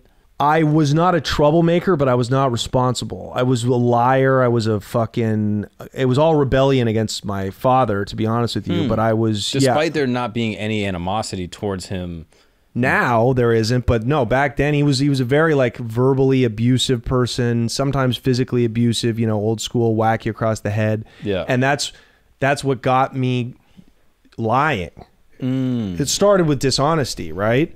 And so I would I've discovered that lying could get you out of trouble. Mm. So it just progressed and then I would get caught lying and he would get more mad at me and get more distrustful of me and get more kind of like disappointed in me. Were you religious at all growing up? Nah, you know, Catholic until everybody drops out, sixth grade or whatever. Yeah, But that You know what I mean? idea of like don't lie was not like ingrained in you in No. any significant way. No, no, no, no, no. I never, I never thought God was watching when I fucking jerked off or keistered a drug balloon. Oh, That's so funny. I'm the exact opposite. you always I'm, think I remember God's the first watching. time jerking off, just like crying, literally. Like, like there was like a like the when I discovered jerking off, and then like for two months after that, being like, oh my god, what am I doing? Like, how could I do? Like, Yeah. Mm-hmm. literally, like having like emotional breakdowns of like the. uh yeah, like this moralistic guilt coupled with it. Yeah. I don't. Ha- I think you have a personality type that is like inherently, like, uh like conflict based almost. Like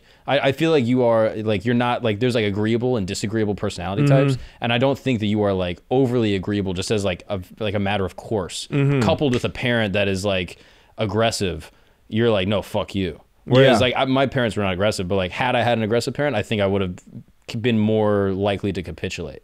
Whereas Yeah. you were like nah. Yeah, I'm gonna go. I'm gonna retreat into my world and my environment, and fuck you. And I'm never gonna come back and see you. I'm never gonna visit you. Yeah. he was a real shitty parent. You know, just strategically, like like he did everything wrong. Yeah. you know what I mean. Um, Did it change your mindset on like parenting or having kids? yeah, I didn't want any of it back then. Oh, really? I'm like, oh my god, this fucking god, you gotta bang this fucking ball and chain, mom. Every you know, whatever, Yeah, yeah. I don't think he was fucking her every day, dude. Not that Yeah. cheapskate, but um, you know, and just like, man, it's just the life is just. It felt like prison. Hmm. Every day is the same, right? And that, you know, obviously, like as a little kid, it was, you know, you're just joyous. But Mm-hmm. like, yeah, starting from like fifth grade on, I'm like, I gotta, I gotta, I gotta do something different. You know, I gotta get out feel of this town. That disagreeability is that fair to say? I don't want to like yeah, yeah, I would say so. No, no, no, I like that. But like, do you think that that is? uh Do you ever did you ever feel like that was wrong? Like, did you ever think like, man, why am I this way? That if someone tells me to do something, I don't want to do it.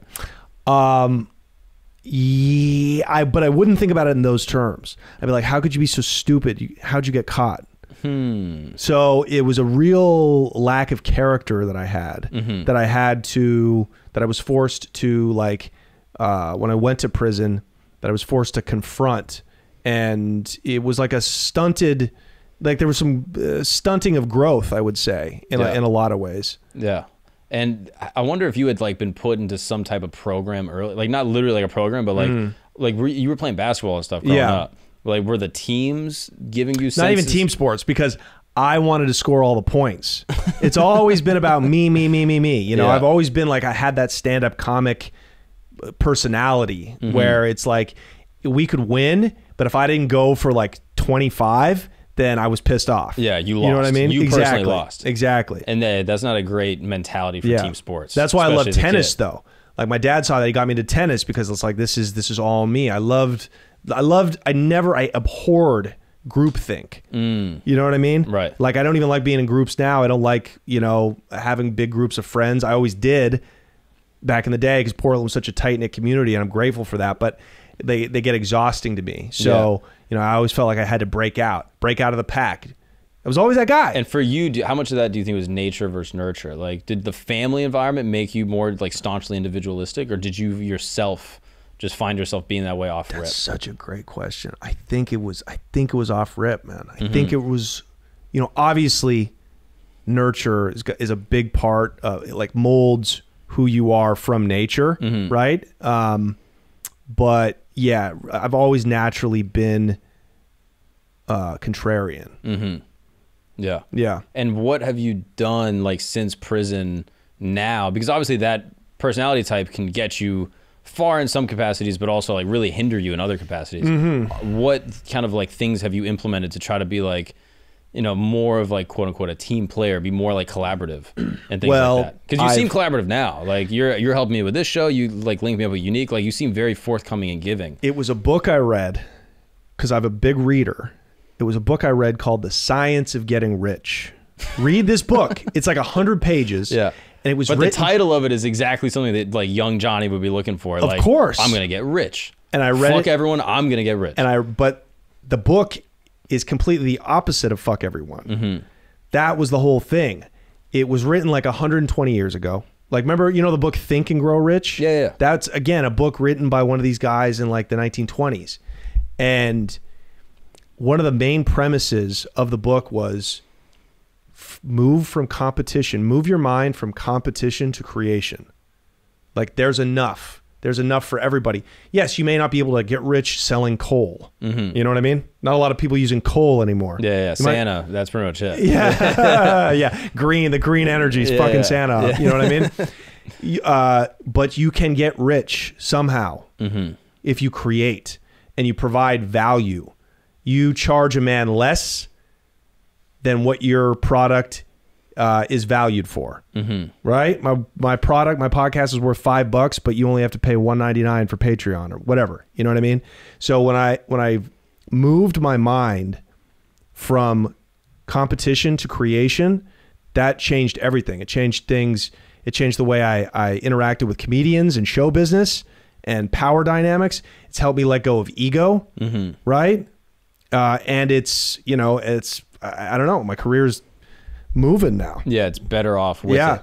I'm Yeah. doing better. I'm taking off. Yeah, which I yeah, I completely understand the other side of it. I think I am sort of the opposite in a lot of ways. Like I think growing up very religious instilled a lot of that in me where like it was always like give give more than you have Yeah. like if you only have five bucks give six like Amazing. find a way to do it Amazing. and in ways i almost get insecure because i feel like it holds me back where i'm like if i was more of a narcissist i can just fuck everyone and just go for it but i'm like I think because of a really religious upbringing that like for me, probably just the way I am naturally, like I don't necessarily have that. I have to like consciously be like, oh, I'm going to turn down helping someone to do something for myself. You know what I mm, mean? Mm-hmm. Whereas like almost going the other way, which it seems like kind of you have, which is like a little bit more like self-centered, selfish as a kid, mm-hmm. and then learning like, yo, let's be more collaborative, let's help people a lot, which you've done.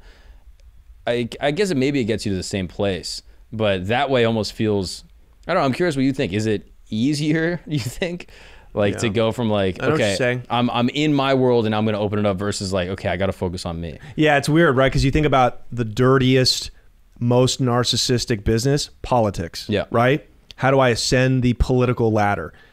That seems like if you're selfless at all, you're you're gonna be fucked, right? You always need to be doing Mm-hmm. Stuff for yeah. people as long as it's going to come back to you, Yeah, I hate that. right? So I we would not that. do well. So I think I think that's just not for us, Yeah. Mm-hmm. right? You do what's for you. Everybody does what's for you. You do what you're good at, and you do what uh, you're just pushed towards doing, right? And then you'll end up where you're at, as long as you can accept it. Yeah. If you wanted to be in politics, like and you couldn't not. accept that you're not in pol- you're not built for politics, Yeah, I'm not. you'd have a miserable life. Yeah. How many people are in stand-up comedy not meant to be in show business? Yeah, probably a lot. almost exclusively, right? yeah. So, but they just can't accept. Everybody's got a talent, but you have to be. You have to accept it. Mm-hmm. So, yeah, that's interesting. I think. Uh, I mean, what that's the better. The way you were raised is just. It's such a better way to be. It just you just avoid. You just you avoid so much, just inner hell Mm-hmm. by having an operating system that is giving first. You know what I mean? yeah. Um. Yeah. I mean, I didn't go to prison, so I guess. Yeah, but how did you how did you get like that? Was it your, your religion or was it your parents? I think both. I think also being in a big family, like it's inherently Yeah. collaborative. Like Yeah. everyone's kind of doing something. You Yeah. know, I, I had my orderlies. You Yeah, know, so yeah. like even as a kid, it was just that. And then, yeah, I really think it was religion. I don't know. I, I think partially just kind of the way I am. Were you were you poor or like lower middle class? No, my family did well. Like we had a lot of siblings, so it like the money would be distributed. So like Yeah. I got a car from like my brother when he didn't need it anymore. That's how we did it. Yeah, that's how we did it. Yeah. But it was like a minivan. Mm-hmm. that I souped up. Minivan all, was fat though, bro. took all the seats out of it. Really? Yeah. Oh, of course. Bro, that's, immediately, that's the under bucket. Yeah, yeah, that's some yeah. shit you drive home two forty ounces deep, dude. It was the best. and you just fly by a cop and he doesn't even look. Honda Odyssey. I would like. I had Yeah. like lights in it. I had the couch in the back. I got a mini couch from like a kid that was in college. Put it in the back seat. You're like an old black guy named Earl. bro. Here's the best. Old black guys got vans. and then I leveled up for the van. Guess what car I got next? Chrysler 300. yes. Oh my god, dude. But, Wow. it, but it was always that kind of shit where like. You're pure South Florida But garbage. I loved going uh, for real. I loved going to parties, and so I would like go to these house parties in like an abandoned house or like a house that's for sale that some kid kicked the lock in, and like Mm-hmm. Yeah. everyone's going crazy. There's like 300 kids just like getting shit faced, but I wouldn't drink. Yeah. So I was always hedging. Whereas like, okay, we're gonna go to this thing. Like my friends would be dealing weed out of the apartment, Mm-hmm. and I'd be around, but I would never touch it. I never smoked. What did you? What was your thought process like getting into stand-up comedy? Like, how did you end up working with this kind of operation? And it's like, are you thinking? You must be thinking practically. Yeah. You're like, I'm gonna go to New York. I mean, it's a big step. You're in the big city, Yeah. New York City. I'm gonna survive this way, and uh, at the same time doing stand-up over here. Yeah, but like stand up was always strategic. So like I loved it as a kid. I was like obsessed with it. Mm-hmm. And it was like a way that like me and my parents really bonded. Like Oh, wow. my, my dad, his dream was always to be a comic. Ah. he always wanted to be a stand up comic since he was like little. Do you ever notice when the pussy stink? yeah, literally. And like my dad is like a South Florida, like he's from Montreal, but like he's a South Florida guy. I didn't even realize it until we went to Miami. But like his whole day, he's like doing phone calls, lays out in the sun, Mm-hmm. works out, gets a huge pump. Like he's just like a he's a Cuban. He's a Cubano. Yeah, you know what yeah, I'm saying? yeah. But like, but he loved stand up. And so would always like my first like iPod, the first album on there is like Jim Gaffigan and Seinfeld. Yeah. Or like that's like the it was just stand up on the on my iPod. And so I'm just listening to it over and over. Like that was the only thing on. And then we would like drive to like math competitions when I'm in elementary school and I would recite the entire album. Wow. Like front to back. And then like I would drive to soccer tournaments with my mom. And Laugh USA was on like Sirius XM or whatever, and it would just be playing nonstop. That was Yeah. the only thing we listened to.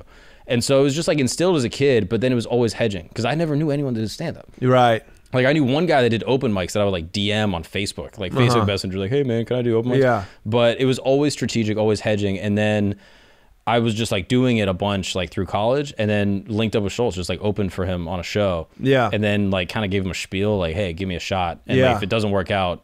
That's cool, but like, Yeah. Mm-hmm. let me just like sell merch for you or something, and like, and in trade, like, can I open some of the shows? Like, let me host, let me do five minutes, and uh, it just became like a perfect pairing. And Right. obviously, he's just the best and like took care Yeah. of me and like mentored me through the whole thing. Yeah. So I got really lucky in that regard. Uh, But, it do was- you think in your mind? hedging. Do you think in your mind like uh, maybe I won't make it? So here's like the Yeah, fallback. always. That's how I think I- I all think the that time. now. Yeah, same. like, I'm like, Absolutely. I'm, I'm like, Yeah. okay, what if I'm like, you know, is there? Can I be an insurance guy? Like, if, Mm-hmm. yeah. I, if I say like dick sucking too much, will that affect like this other thing? You know what I'm saying? Like, so yeah, I'm always in that mode of like Mm. so I hedging. think that will be your arc. That will be that will be your little obstacle, your little uh, mountain to climb. 100%. is to when like you believing in yourself yeah. to the level where you're like, oh, uh, yeah, no, no, next year is going to be better than this year, and the year after that, I'm Yeah. about to be to the moon. And I'm a little stupidly optimistic with that stuff where like things are going great and I'm like really happy and like this show is awesome. Even if no one watches it, I would do this every day. Like just connecting with human beings mm-hmm. is like my favorite thing on the planet. Mm-hmm. But yeah, it's it's still like I remember having a moment like maybe two years ago, kind of like what I call like my face tattoo moment, mm-hmm. where I was like, I got the face tattoo. Like, like uh, Yeah. proverbially speaking, Yeah. like I'm not going back to Yeah. a regular life. Like Right. the idea of just like having a nine to five is off the table. So now it's only recently that that's happened kind of for me, which seems kind of crazy maybe for someone that's like doing open mics in Orlando still, seeing where I was at, being like, bro, like you've already face tattooed a while ago, Yeah. like, you're gonna be fine. Yeah. But in the back of my mind, it's still scarcity. Like I gotta be good. yeah, But yeah, it's always collaborative. It's always like if anyone needs help with whatever, I I enjoy that, and I think that's a, a Christian value that I got. Mm-hmm. you hang well. on to that. You Yeah. hang on to that. Um, but when you listen to real bosses, there's never like there's never a doubt. They're Mm-hmm. like, this is what I'm going to do, and because the business will be there. Yeah. So that kind of mindset is just so rare that I really believe it, man. And, and the drug game taught me that. If Yeah. it were not for the drug game, I couldn't. I probably wouldn't have that entrepreneur's mind because hmm. I literally thought it was started with a thought when I was 16 years old. and me and Reggie, we can say his name because we forgot to bleep it on flagrant. He's like, it's fine, dude. Yeah. We copped our first ounce of weed and we fucked the bag up and, you know, we end up smoking it and, you know, we owed a guy money. We owed the fucking drug dealer money now. But I, I was like, we're going to be fucking huge. Like, we're going to be like, we're going to be drug kingpins. Yeah. And it was just such an insane thought. Like, how could a, a guy from a middle class Portland, Oregon, you have no criminal connections. Like, you don't even know people to buy this shit Yeah. but just like just just embedding that in my mind and never it was always in my subconscious right like uh, six years later i'm i'm making 50 grand a week sometimes more pushing moving pot all over the country Yeah. I mean, with dominicans in washington heights negotiating prices like Do you think that could have gotten beat out of you had you got like fast tracked into like some nine to five? Like, you know, you're let's say you start interning when you're 18 and then you're just like working at a finance firm. yeah Like, could that have been beaten out of you? No. Like, that's what I'm saying. So I don't know if the drug game even taught you it or if it made it you just realize what was internally in you. You know what I'm saying? right Like, I feel like you would have done that regardless. Like, Sure, sure, but it was it was a way for me to see that like you can bring into creation what you think about, like mm-hmm. what the Bible says, what man thinketh he become. Mm-hmm. You know, and that's really like I was like, wow, okay, so if I could do this, I can apply this to something else. Mm-hmm. So Yeah, yeah, I'm, I'm like, if it hadn't been drugs, like if you came up now and you found out like this crypto shit or something, Yeah. like if, if someone just was like, hey, do you want to sell Amway? Like, Right. I feel, I wonder if you would have just gone into that track and then become an entrepreneur in some other capacity. if I could see that there was money in it, yeah, That's what I'm saying. Yeah, like, if yeah, you just had a mentor, Yeah. that was a businessman that had like an interesting entrepreneurial kind of job, Yeah. If you would have been like, all right, yeah, I can fucking make money and get my high through this. Drugs just happened to be the first thing that came on your lap. When you Oh, were for 16. sure, for sure. If there was something that I could do where just like drugs, there's really no barrier to entry. There's Mm-hmm. no business license because I'm not like that. I'm not organized. You know what I Mm-hmm. mean? Uh, this is just like purely capitalistic thing, trading fucking you know forex currency, whatever you know these little 18 year olds that are look looking at screens all day do. Yeah. yeah. As long as I can see that there's money in it, like I'd be at that. You yeah. know? Yeah, yeah, yeah. And so yeah, you just like high risk. Yes. Like you like like gambling. but Yes. do, you, do you gamble gamble? But I'm not a gambler though. That's what's wild. Is like I take calculated risks. Mm-hmm. It's not. I'm not like a lot of these cats. You know, famously that uh, make uh, millions of dollars, but that all goes out the door. You know, gambling on like higher and higher and higher stakes. Mm-hmm. What I did was a calculated risk. It was a thing that just formed on accident. Right. Me really like seeing that I was like, oh shit, I'm about to make 1000000s Right? Like I was like, oh, it's on. Yeah. When I met the buyers on the East Coast and I found out what they were going to pay f- per unit, right? And I was like, oh, just quick math. I'm like, that is, that's a hundred grand a month, easy. Like like on an average month. Oh, I'm about to become rich. Has the like, desire to me that was like that was like uh, I knew a Brinks truck was backing up Yeah, to yeah, yeah, unload. I'm like, that's just a I'm about I'm gonna go get it and look. It's 50-50, but if I get if if I fail, I'm I'm gonna have to sit down. I knew that- I was gonna have to go to Has prison. that shaken at all for you? Like the insatiable desire for money? yeah, somewhat. Like as you've gotten money, like you've had like different amounts of Yeah. crazy money in your Yeah. life. Like, uh, like has that faded at all?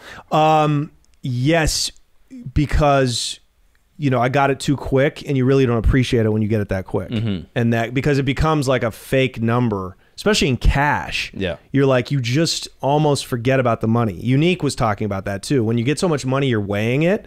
Like it just becomes, it's just paper that gets stashed and hidden and loses value. Yeah. Like you don't. I had no respect for money. Mm-hmm. Uh, now, you know, making uh, 10 grand doing online shit uh, feels like making 100 grand in the drug game, right? Interesting. Yeah. Yeah. Because in my mind, again, growing up, the idea like money was almost there was almost like a like it was a good thing to have, but it was almost like a dirty thing. Mm. Like It's very middle class. Yeah, yeah, yeah, very like, middle class. Never- Jewish people don't talk about money that way. yeah. Jewish people love talking about money. Yeah, yeah, They'll yeah. talk about it with aunts and uncles. They're open with it. That's why they're so good with it. Mm-hmm. They're like, what? Everybody's got to have it. Yeah, So let's just talk about it. The idea was always just have enough and then shut your mouth. Yes, exactly. and like help people when you can, but like don't like what is the point of like talking with money being extremely ostentatious? Like Yes, so it- right. So it wasn't hard for me to shake that idea of like money, money, money. Like it never was a big motivator, and so I've always been of the mind that like money is not going to make me happy. I saw a lot of people with money. Like I went to a very wealthy school Mm. where like I went to Rollins College in Orlando. It's like the it's extremely expensive. Tuition's fucking insane. And I'm going to school with kids that are like flying private back home Ah. to like go to you know dinners with like their dad who's an attorney for a president, like that kind of shit. And how miserable they were Hmm. early on. I almost had the opposite thing where like I didn't have any money, like had a decent living growing up, but like just seeing all these people with money that were fucking dying, Right. Like OD, like Yeah. the head of like some insurance company that just fucking kills himself. Oh wow. And I was like, oh, like just having a lot of money is not a good mo in Right. general. And so for me, that's it's always been a motivation to have enough. That's like a bare minimum. But it was never like I need to get like I even at this very moment as I sit here, I don't have this allude like this grand idea of like oh I'm gonna make twenty million. Mm. That's I don't think that's gonna happen. Okay, or well- may, maybe it will. I, like I, again, I don't think it will or won't. But like I don't have this like burning desire to get that. you don't have kids though either yet. no. So you know you have a kid, and then then the the panic will be on. But then I'm curious too, because like all my siblings have kids. Like I have 15 nieces and nephews. Wow. And I'm almost like, we all know this spoiled rich kid and having a ton of money is not good for kids either. Right. So I'm like, as long as I have enough for them, That's and I can go move to like a mountain somewhere Yeah. and have like a little like polite living, but still be able to do the dream and like connect with people and do yeah. stand up. Yeah. That would be enough. That's pretty dope. Which is, pretty I. Mm-hmm. think, a healthy mindset, but at the same time, I do think it's like sometimes a hindrance to like quote unquote greatness. I think I think you got to shoot for the moon. Yeah. And then you come come a little short. That's all right. But that You're moon for there. me is not financial. Yeah. Like I'm curious, like as you've made more and more money and like you're making great money now, like I wonder if it's shifted or how. Do you think it'll shift more as Uh. you're like, yo, what if I have slightly less money, but like I get to work this hour out and like this joke is better, Yes, or like my yes. show is better, even if it makes me this percent I, less. I would rather have a well-oiled business Mm-hmm. than make the most amount of profit. Mm-hmm. I would actually rather have it be more passive, right? Just like I would take less money off of the each pound off the brick if it meant somebody else was driving and going to pick it up. Yeah. and you know That's the it's just- calculation. yeah, that's the calculation. So I would much rather have uh, something that's uh, a machine and and spread the wealth around than you know have to work as hard as I'm working just to make the money that I'm making, right? Yeah. So yes, I'd rather the goal, of course, is to connect with people doing stand up. Like I, I really just want to be able to kill, right? Yes, I want to be able to kill. I Mm-hmm. I, want I to don't want you to out. feel like I'm like baiting you into the No, question. be no, like, no, no. art is better than these are good, money. these are good questions. But like, But I would not kill. There'd be no motivation to kill if there weren't a financial uh, goal attached to it. Like I really, I, I've been thinking about this lately. I'm like, yes, stand up. I don't know. I may end up quitting stand up. To be honest with you, like uh, for sure, like there's there's a level, like maybe at like the 20 year mark. Mm-hmm. Like if I've put out two killer fucking hours on YouTube, Yeah. and I got a podcast like this or something like that, right? I've sold some shows. Um, I feel like I got one of the coolest fucking shows, which Yeah, I'm proud amazing. of. You Yeah. know what I mean? Like I'm really, really proud of it. So when I feel like, oh, I'm scared to like spend the money that's going to take to go down to Colombia, I'm like, wait a minute, dude, this is once in a fucking lifetime. You know what, I mean? What if Go you to- win the lottery? Let's say you make literally five hundred million oh, dollars. that'd be terrible. I'd never want to win the lottery. Are you kidding me? but, but let's say hypothetically that happened. You have a great aunt that dies, and she's the president of some fucking Right. You know, she leaves me a half a B. literally, yeah, five hundred million. Yeah, I mean, I would I would make the coolest shit. You know what I mean? I'd make all the television that doesn't get made anymore. Mm-hmm. I'd make the movies that can't get made because of, you know, all these factors that we know about. Mm-hmm. So yeah, that's what I do. I just, you know, I would just make as much art as possible. And how much would you not work? Um Because that's a lot of work. Making yeah, stuff. yeah, work. yeah, yeah. No, no, I think I think that would be like the rest of my life. You know, Yeah. I would I would be I would be supervising the script and everybody else would have a duty and I would just be the creative. Yeah. I would just be like you know, the guy sitting behind the desk paying actresses or you know promising actresses jobs just so they'd blow them. You know what I mean? fire, dude. Yeah, The yeah. dream. Fuck yeah, Yeah. dude, for the dream. Like, who do you think has the best life? Oh. Like, like, if oh. there's a guy you could trade lives with right now, who do you think that is? The best life. Yeah, The best life is the guy who's really who's really content. Mm-hmm. The best life is the guy that you probably never hear about. You know what I mean? It's the guy. My dad's got a pretty great life. Yeah. Because his ambitions were only to leave Cleveland, Ohio. Yeah. And as he's grown out of like the midlife crisis that he was having back in those days that caused him to be such a dick to his family, he's now like he's got a boat and he's going to go up to the San Juan Islands up in northern Canada and he's just going to be a loner and he just loves it. He loves the beauty, he loves looking at whales. I mean, that's truly it. And when you're in prison, when I was in prison, I could reach some of those moments sometimes where the funk was off, nobody was beefing, everybody got their drug fix, so everybody was mellow. Um, I'm not thinking about oh how am I gonna how am I gonna make it in L.A. right, mourning the loss of like money Yeah. right that was ba- basically not even mine to begin with. Yeah.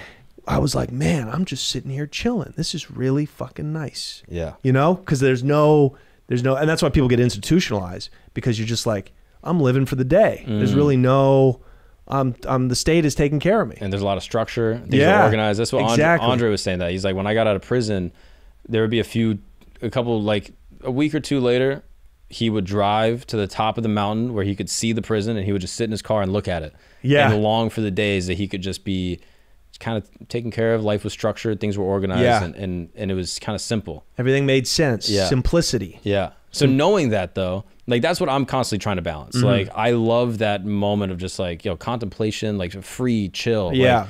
I like the idea of having a bunch of kids and just living in a fucking ranch somewhere. yeah so how do you get to where andre right Yeah, yeah, how do you get to that without actually having to be in prison That's what I'm trying to balance. Yeah. And then also like the massive ambitions that I have, Mm-hmm. balancing that with like, will those make me happy? And Mm-hmm. oftentimes I'm like, the more money I have to a point won't make me happier. Like all this like, you know, success or fame or whatever things Mm-hmm. come along with being great at a, a task or a, a job. yeah Those I don't think will make me happy.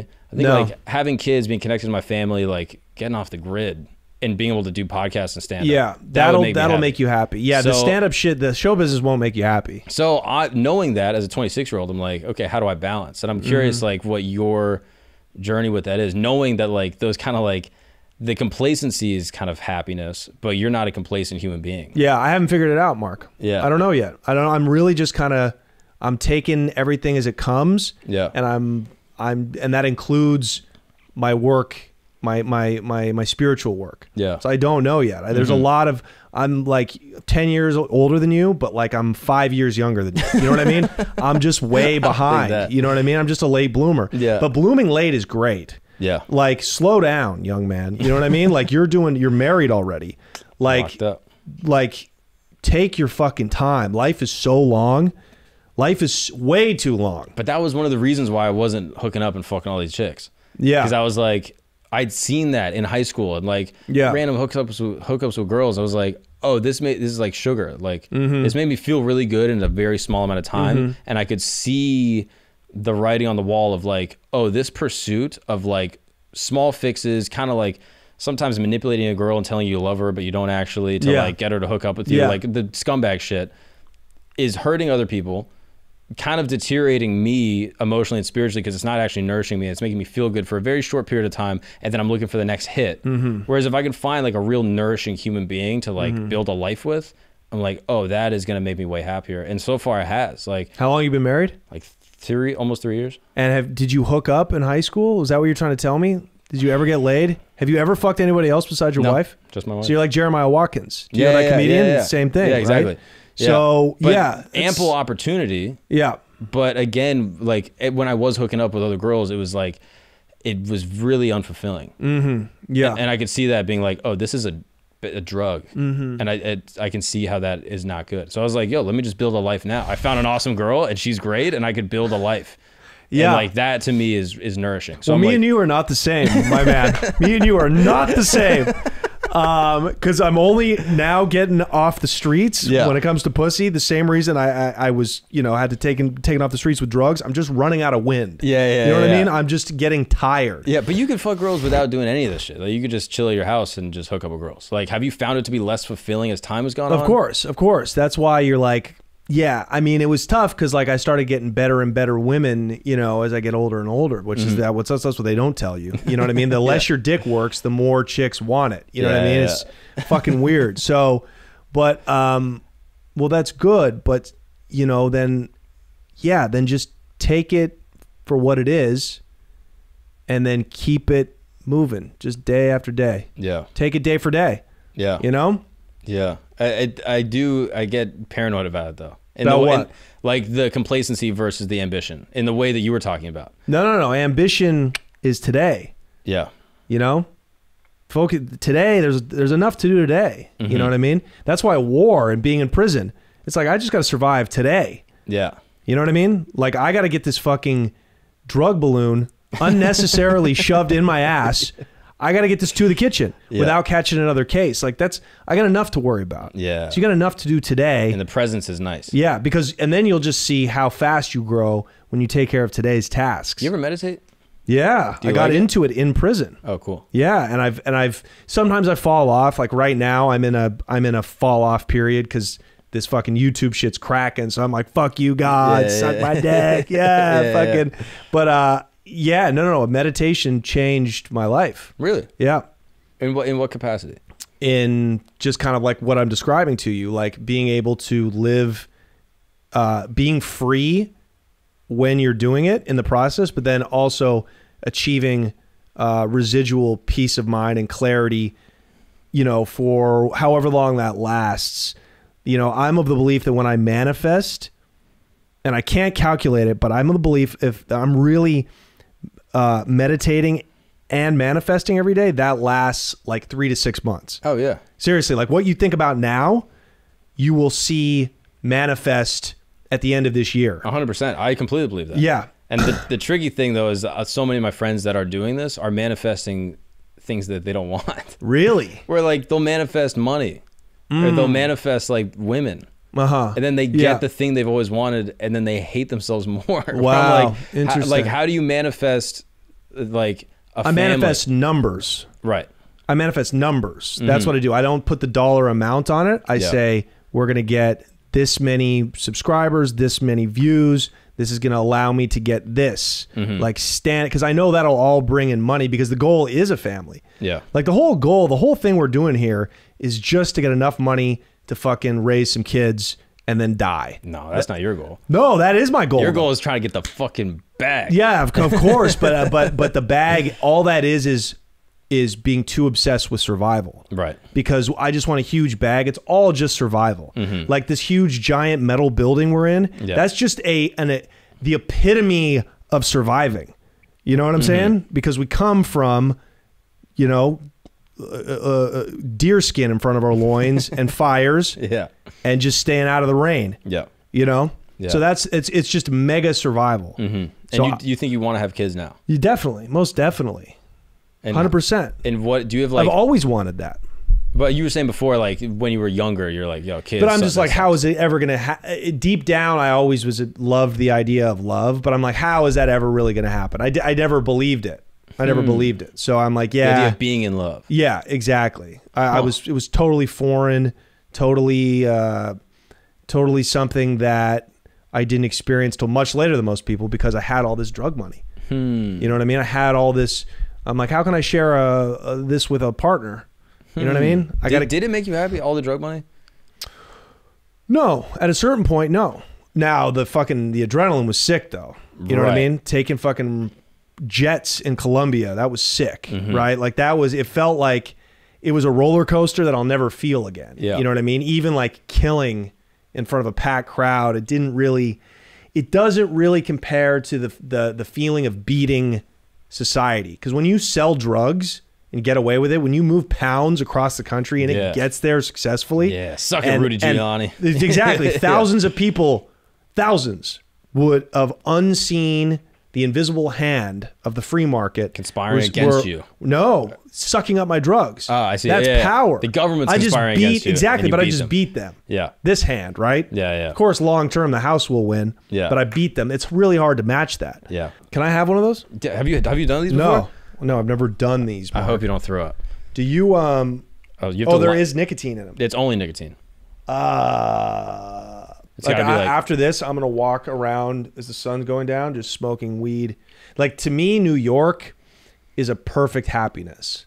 Like the way that you want to go out to the woods and raise a bunch of kids. Yeah. You know, and feed them goat milk and have an Amish wife. Yeah, exactly. You know? literally. Yeah. You nailed that. Yeah, yeah, yeah. You want to be like a Mennonite. You know what I mean? Uh, drive a horse and buggy. Those people are happy. That's yeah. I think those people are probably happy. Well, some of them. the fucking women don't look happy. Yeah, no, no, no. They they're, look they're pale miserable. and yeah, yeah, yeah. gross. And my wife is miserable too. But Yeah, I'm good. happy. Yeah, yeah, You're gonna be I'm- really happy, though. yeah. So that's me walking around like New York. And I've been here I can't tell you how many times I've been in New York, spent time in New York. But like when I'm on the plane coming from wherever I'm coming and I hate flying and when I see those fucking city lights, still like it makes me almost start weeping. So I'm like, "Oh, at least I get to see her again." Oh wow. That's that's what New York City is to me. Would you move here? I would. I would, but part of me is like, God, I don't know if it would kill that like specialness I, I have for it. That mm. you know, she's like an affair, right? Yeah. She's like an affair with like an older Latin woman who just like strokes you and takes care of you and like answers questions. Yep. Like, oh, you want to get married? Well, like, you you love this girl, you love her. Yeah. Like, you my blessing, you know. Yeah, like, yeah. But you come back and fuck me, you know. well, you got too old to fuck. Yeah. You can't. That's the thing I like about New York is the humanity. I like being around people. Yeah. Like that would be the ideal setup. Is like someplace like 30 minutes away, Yeah. 10 acres, Mm-hmm. and then all the most interesting, coolest people in the world can come hang out with me. Yeah. And then I get to drive in and do spots. Right. And then go back out. There's plenty of land, dude. You go get it, man. I'm so close. You'll get that. I'm dude. so close to literally just like 45 minutes out, try to get some acres, and then just put like a motorhome. wow. Like a nice one. Like a nice RV. You're that guy that's Oh. gonna have a motorhome no matter how much money you have. You're Bro. still not gonna be able to get away from the swamp. It's always the minivan, dude. Oh, you I'm make just me always sick. trying to be in the minivan. oh, you make me sick. Are these making me sick? Let's go. Yeah, you make thought- me sick. You thought Wait, it was no. me. You're like, no, I'm hiccuping now off this. You feel a little buzz going. I feel no? fine. Do you want water? Can I get a water? yeah. now I'm buzzing. Let's go. Now I'm buzzing, bro. Let's go, Johnny. See, it's like when you do shrooms Yeah. for the first hour. Have you ever done, ever done shrooms? I haven't actually. You should do shrooms. You want to be out on all those acres? I feel like I am shrooms. You should do. You are shrooms, bro. I'm shocked you haven't done them. Yeah. But I Why am. not? I'm going to. I'm going to, but it has to be the right setting. I'm trying to like Thank set you, my intentions for it. I don't want to like party. I, I like to use drugs to inform my sobriety. You know what I'm saying? Like I did Molly at Burning Man. That was awesome. That was so fun. And then I was just telling. Mm. That was a good trip for you guys. Oh, it's the best. And I'm going back this year. I'm so excited. But like my jaw was going crazy. I was telling everyone I loved them, and I was with all these people I love. I was with Schulz and Dove and the whole crew, and I was just like, man, I love you guys.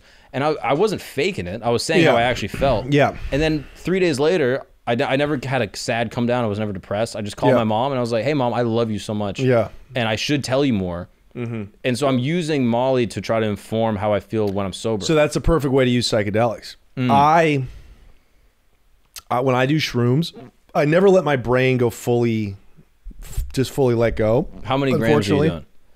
When you start off, when first time, just do two grams. Yeah. You'll be nice. Yeah. You'll be frying. You'll be, you'll be, you'll be fucked up. Okay. But you're not going to be hallucinating. You're not going to be seeing things. You're not going to be talking to God. It's a body high. Mm-hmm. It's a body high first because it's poison, right? It's, it's mushrooms coursing through. I'm going to get rid of these hiccups in a sec. um, maybe you should do them alone. Yeah. You should probably just do them alone Mm-hmm. because you you might puke. I puked when I used to first start doing shrooms in college because your defense mechanism is that you're going to want to throw this poison up. Yeah. So you'll throw up and then you'll feel incredible, Mm-hmm. and then you'll be you'll be like, okay, I'm good. Yeah. Just don't panic. yeah. It's the main thing. Do not panic. Yeah. You're not dying, I've gotten anxious on weed before where like, I'll but you know you're not going to die no, smoking no, no. weed. But I'm just like, "Oh, I need to go home and go to sleep. Like, I don't Mm-hmm. want to be around these people anymore. I gotta get out of here. Mm-hmm.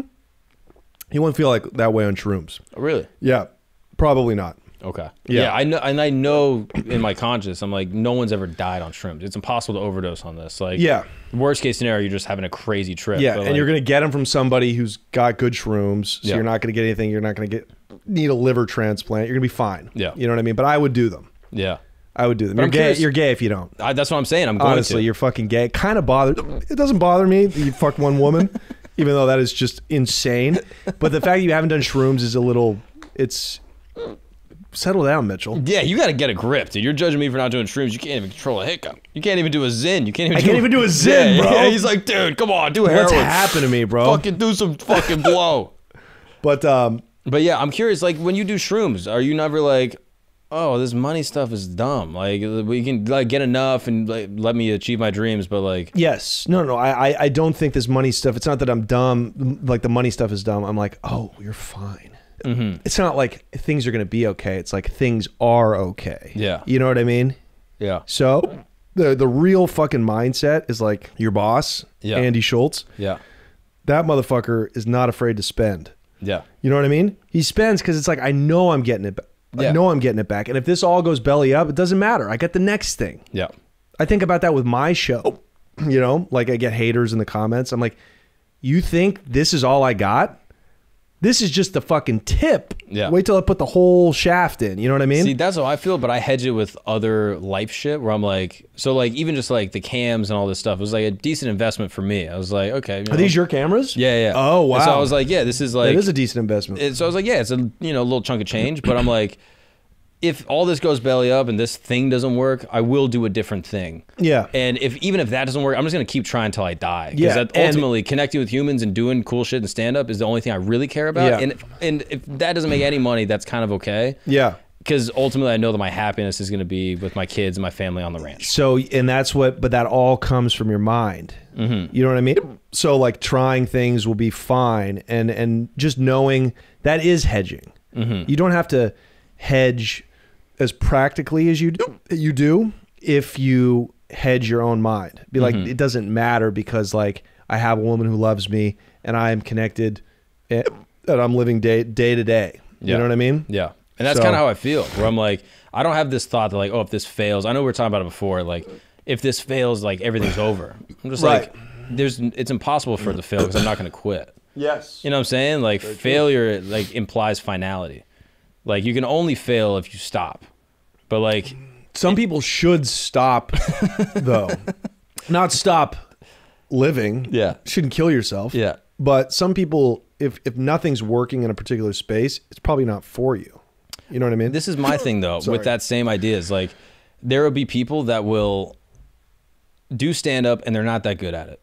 But like they're in their own little lane and it's funny and I agree. I'm like, bro, quit. What the fuck are you doing? You're like hogging up the space, whatever. Right. But really the way I feel is like, bro, if you love it and you're like got your own little club and you- you're torn, you got your own little fan base, like sure. Even if you're not doing even if like you're just doing fucking kind of like you're just doing spots in the city that are fine. Right. And you're happy and it works, I'm like, yeah, go. Who the fuck am I to tell you I, not I to? guess I look at like the misery of doing that. if they're miserable. Yeah. Yeah, And, I there think- are a lot of people I think that a are lot like of people that. that. are like that. Yeah, you know what I mean. Uh, the, the caveat of that is misery. yeah, for sure. But if you're bliss and you're just like fucking kind of smoking, Yeah. making some paintings, and like you're able to get money through Yeah. something, fucking do that forever. Right. Or if it's stand up, it's like it's hard to not want to be part of like the cool guy club, like you know Rogan and you know Yeah. the whole fucking podcast cartel. But you know, there's a lot of money just online. You could just build your own lane, That's what I'm saying. and it's like you don't. It's almost better. It's almost better. That's how I feel. Like, yeah, it is cool to be a part of the club, but like, I also feel like obviously through Schulz, like he's the fucking coolest motherfucker, Yeah. and I am a part of the club, and that's Yeah. awesome. And I'm like, yeah, that's great. And But you see, at the end of the day, like everybody. The ironic thing is when you break into that club, you're like, oh, it's not that cool. but yeah. So you were saying with the parenting thing, Yes. So when I have kids, Mm-hmm. and I fully intend on having kids, hopefully they're daughters, right? Because fucking, Why? I don't know. Because daughters, a, they're not inclined to antisocial behavior, right? Hmm.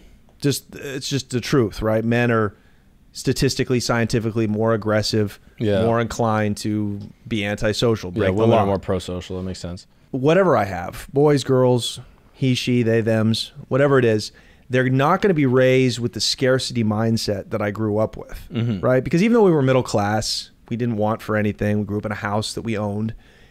The all we heard was we could be out on the street. We have one bad month and we're homeless. You know what I mean? Mm. There was just there was a lack of gratitude for what we had, and it was a constant from the top down, from my father down to the kids. I you have to work and you have to make money, and it's so hard to make money, and it's a big scary world. And those people that are wealthy, they're that way. They're ordained that way. We're not like that. You know what I mean? And it's like uh, that. That's just a fear based way of thinking. And and truthfully, it, it's what made me want to sell drugs. Yeah. You know, like that was part of it. It was like survival, and and you know it's misplaced survival, right? But st- nevertheless, that uh, is a corrosive way to think. Yeah, and the, so. yeah. the inverse can also be as a, as corrosive. So how do you balance that? Have you thought about that? Like, Well, what is the inverse? like having so much, having anything that you want. But that's not a that's not a mindset though.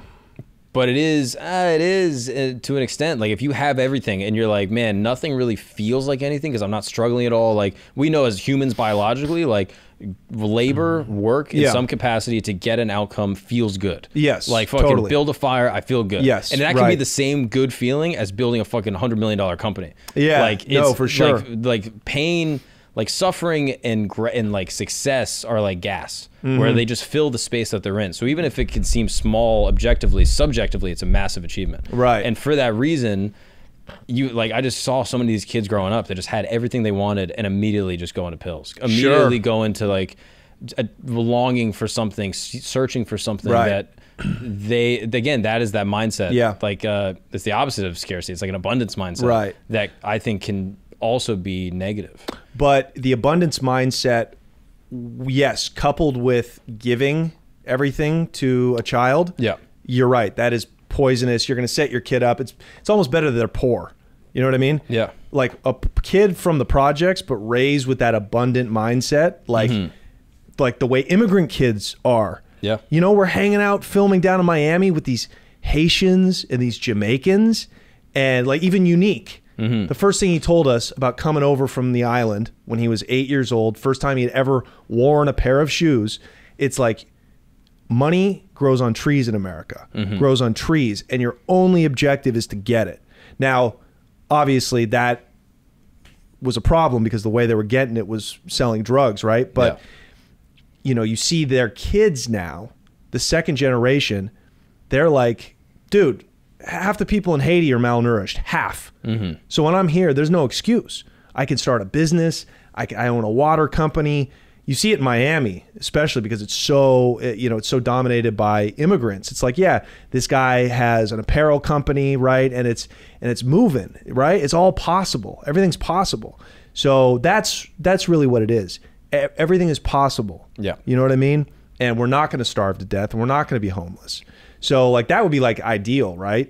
Is a kid raised to to have to go fend for himself but to know that like he can he can achieve that if he's puts his mind to it. Yeah, I You think know that's I, mean? think that's a good mentality, and like instilling the idea of what do you li- like? What is the intersection of what you like to do that is beneficial to other people? that's marketable. Yeah. Right. That's what the market is, right? Yeah, Are yeah. are you doing something that has value that people can give you money for? yeah, You know and, what I and it has like some type of like good that comes out of it because Yeah. obviously there's things that people like that you like that could be negative, a la drugs. Mm-hmm. Yeah.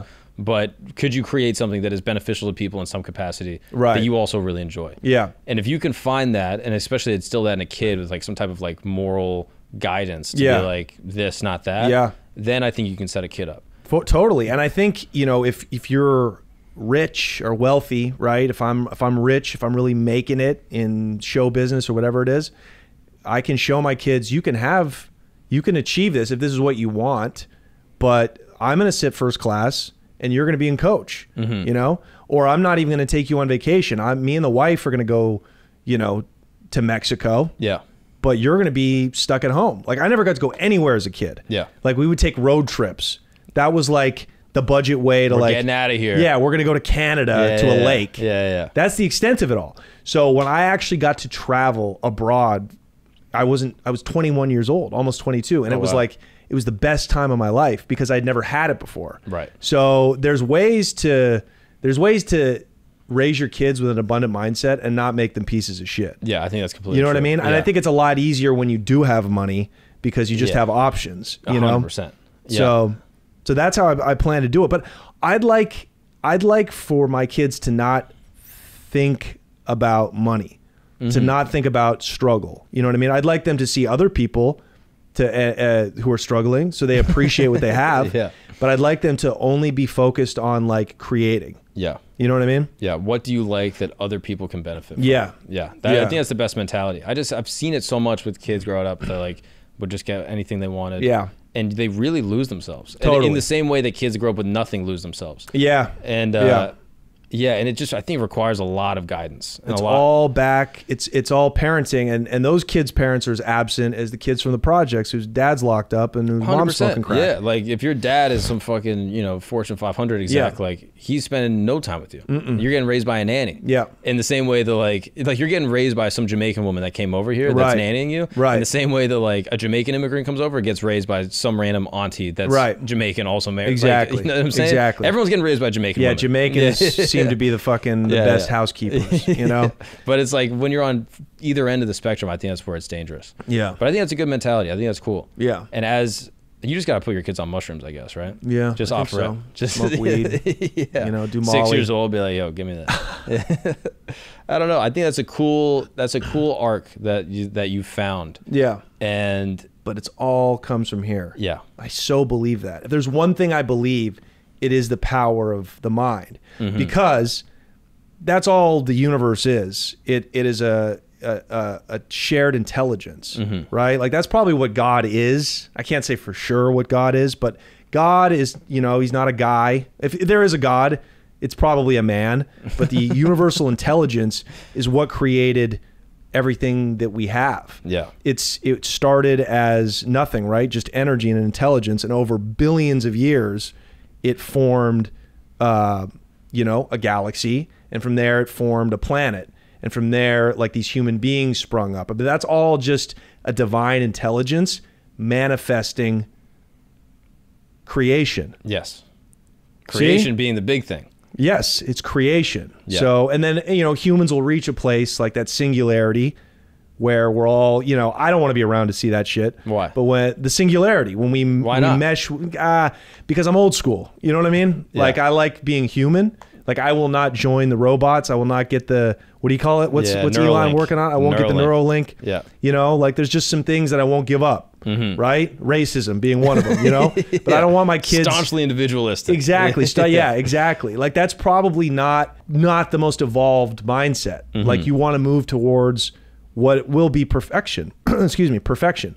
So so yeah, I think like the, the operative word is like creation and that all comes from the divine intelligence and is now manifested through humans. Yes. What do you create in your mind? Yeah. You know? And how does that manifest in real life? Like, what are the things that you're actually putting Mm-hmm. Yeah. out there?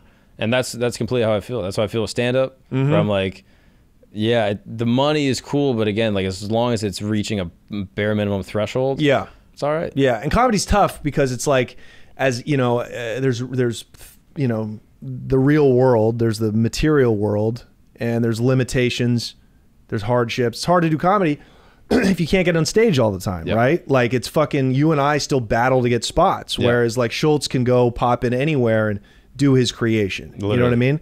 But uh, but he's been at it longer. Yeah. You know? Yeah. And that's but that's also why I like this show, just like podcasting in general. Yeah. Is like it is creating a conversation Yep. that exists forever. Then Yeah. again, even if like, you know, a thousand people see it, zero people see it, I still feel like the creation is enough. Yes. And I, I obviously I get caught up in the numbers and I get caught up in like, oh, is it doing good enough? Is it bad? Like, Yeah. I was really in that, you know, like a year ago, a couple months ago, and now to an extent, but like I've worked hard to not be so obsessed with the constant Right. feedback. Like I was obsessed with the analytics and still am. I really love the data. Mm-hmm. Right. But consciously trying to remove myself from the uh, numerical evaluation of creation. do you have people that reach out to you and say, "Hey, I love the show"? yeah. Then that then you have to keep going. Yeah, and that is the thing that is worth it. But even if no one said that, like I would appreciate this Mm. Yeah. interaction. I just it's hard for me to. Hate. I wouldn't be here. That's but what, that's what I'm saying. Like like there's no uh, there's no situation where I can just call up Unique and be like, hey man, can we talk? Right. You know what I'm saying? He's like he's a busy guy. He's got stuff to do. Right. But having some type of like uh, offering to him. Yeah. And you know, same with you and same with anyone else. Like it's a there's a little less friction to try to connect with human beings when there's a platform. Yeah, And that's absolutely. the beauty and the real reason why I want a platform at all is just to connect with people. Hundred percent. No, I think that's great. That is Yeah. very true. And same with stand up. Like the better I am at stand up and the better I am at marketing it, the more I can do it. So therefore I have to market Mm-hmm. Yep. it. Even though if it was just like, yo, you can get up anywhere. Like I try to envision a world where it's like, okay, you have enough money forever. And anything you want to do, you have the freedom to do it like without inhibition. Like, let's say you had unlimited money and you could get do stage time anywhere in front of legit audiences that love to see stand up. Would you still do it? And for me, I'm like, yeah, I would just do stand up all the time, even if no one knew about it. Yeah. As long as I could just keep on doing it, being in rooms with people, even I if would I could too, do the show. because you know what you're doing is you're giving. yeah. Like when you go do stand up, you're giving of yourself, Yeah. right? So the same reason Seinfeld keeps doing it, right? He's got unlimited money. Yeah. He because it's you're literally giving. When you're doing this, you're giving a piece of yourself. You're you're pulling back the curtain and you're giving these thousands of people to watch it, you know, uh, a glimpse into you and Yes. like they relate to it. Yeah. You know what I mean? So and you're a giver. You Yeah. were raised that way. Yeah. So it's like you got no problems. Yeah. You know? Yeah. And I think that's partially why things have kind of worked out thus far. Yeah. But again, even if like the views go down or whatever, I'm trying to remove myself from that. Like, do Mm-hmm. you read a lot of the comments and stuff? I never read comments, almost Really? never. I get people who hit me up like wanting to do, like gangsters that fuck with my show or like, you know, guys like Unique or Alex who we film with in Miami. Yeah. And they're like, "Yo, this cat's saying you're fucking phony. You want me to go kill him?" Some shit like that. And I'm like, "No, back off. It's it's all love." Oh, that's you know what I mean? wild. Yeah. how, so how was that Miami trip? that Like, was uh, fucking amazing. with Alex. So, Yeah, Like, what, yeah. Can you give me backstory on him? Yeah, so Alex Montanez is the first nephew to Rafa Salazar. Rafa was featured in the Cocaine Cowboys documentary from back in the day, 2006. The best drug documentary that's ever been made. Florida Boys made it. Oh, wow. uh, the uh, guy, my name's escaping him. Producer, um, the Corben brothers Okay. and they made Cocaine Cowboys uh, the series. There's a new they made a new one too. It's on Netflix, but that and that's really big in the you know online community, the underworld, and it's a the Cocaine Cowboys is about the first generation of Colombian drug traffickers who came to Miami and opened up the market. They invented the cocaine business, Whoa. and they they were the ones getting their bricks. So Rafa was the the number one guy in Miami. He was getting bricks straight from Pablo in Colombia. So he was obviously a billionaire himself, right? He made these people untold amounts of wealth. Whoa. And his nephew was this guy Alex. So he's one of the last surviving uh, people from that lineage. You know, because everybody's dead. Mm-hmm. Yeah, everybody's course. long been dead, right? Uh, so we thought that'd be amazing to like, what what does life look like now Yeah, what a for cool you know? life. Yeah, and I mean, but it, you know, like those kids are really fucked up too. He grew up as a rich kid, but just from you know narco traffickers, right? Yeah. So they, they all had problems, cokeheads, and you know, not a good way to be raised either. Yeah. But And- it was really amazing to like, you know, taking us around to Kendall, which is a Colombian neighborhood. Dude, he said there's so much money stashed in in those fucking houses still from back in the day that like a new family will move into the neighborhood and they'll be renovating and they'll just knock a wall out and there'll be like millions of dollars in drug money still there. Whoa. Yeah. Do they get to keep it? Yeah, so what we fucking looked into this. You have to technically take that down, report it as missing, and then like to the police precinct, which you never do in Miami because that shit that money will go missing. Yeah. Those cops to this day are fucking dirty, right? Because it's Latin. Yeah, It's yeah, such yeah, a yeah. Latin culture and the and the culture in Latin America is corruption. Yeah. Right. So they bring that to Miami. But yeah, and if nobody claims it within like 30 or 60 days, you get to keep that money and just pay tax on it. Oh, that's crazy. Yeah. what So a come up. You buy a house and then make money. Yeah, exactly. Immediately. Yeah, buy house? another one with the fucking the money you just made. That's crazy. Yeah, so he took us to the first caleta, which is like how they call a stash house, right? And then fucking showed us how the wall fucking uh, it doesn't spin around actually. You just it's a fake wall and you would just you could just move it. It was like in small little wheels and you just fucking Extend just it. pull uh, pull it to the side. Yeah, there'd be enough money for or enough space for as much money or kilos as you could put in there. Oh, that's crazy. Yeah, so And- we saw that, and we went around to like the Haitian neighborhood. Yeah. uh, we went to, we went down to the docks. You know, Yeah. all that shit. Really fascinating. How do you find the drug culture is different depending on the place that you are? Whether you're in like New York, you know, like Pacific yeah, Northwest. Yeah, yeah. Well, obviously, like the nationalities, right? Yeah. So it's completely dominated by uh, Colombians and Cubans down there. We interviewed this Cuban guy. This episode's dropping. It'll all be already be out by the time this comes out. He was like a Cuban guy uh, that used to work with Raul Castro, Fidel's brother. Whoa. And he would, yeah, and their army, and they would help him protect the drug shipments after coming from Colombia. They would offload on the port in Cuba and then load the bricks on fast boats, send them to the U.S. So it's bullshit that fucking Cubans are not involved in drug trafficking, like the island of Cuba. It absolutely is. You think a lot of like Fidel's money back in the day was like related to It's that? It's possible. It's definitely possible, but again, it's a dictatorship. It's so it's so controlled, Yeah. and none of the drugs. The only difference is that like all those islands run drugs. Jamaica, the DR, Haiti, Cuba. The only difference is none of the drugs that get pa- get passed through Cuba actually end up domestically for consumption. There's no mm. drugs in Cuba, pretty much. Interesting. You know what I mean? So that's just like a waypoint. It's just a waypoint, just a way station. Yeah, Oh, interesting. yeah. And then in terms of like how people are spending the money, do you find it's different like the way people flex? Like I didn't realize until talking to Unique that like the like rappers, which like it seems dumb now that I'm thinking about it, but like rappers are just emulating drug dealers. Like even if you're a rapper that's never been involved with drugs, you look at like the drug dealers are like the OG flexers. Yes. Like we are buying like the crazy souped up cars, like the chains, Yep. all that shit. All of that came out of the drug culture. Yeah, the, the, that- the car to match the outfit. yeah, exactly. like was that all came out unique. Mm. of like the drug culture that merged with rap, and obviously the rap game and like drug culture. They're so just similar. rapping about what they saw, Yeah. who they grew up and with. they're emulating the coolest guys in their neighborhood, That's which right. happen to be drug dealers. That's so, right. like, do you find that the way people flex is different depending on the culture, or is it always just like cars, hey, clothes, surprise, women? surprise! I know this could be a controversial statement. The whites are better with money.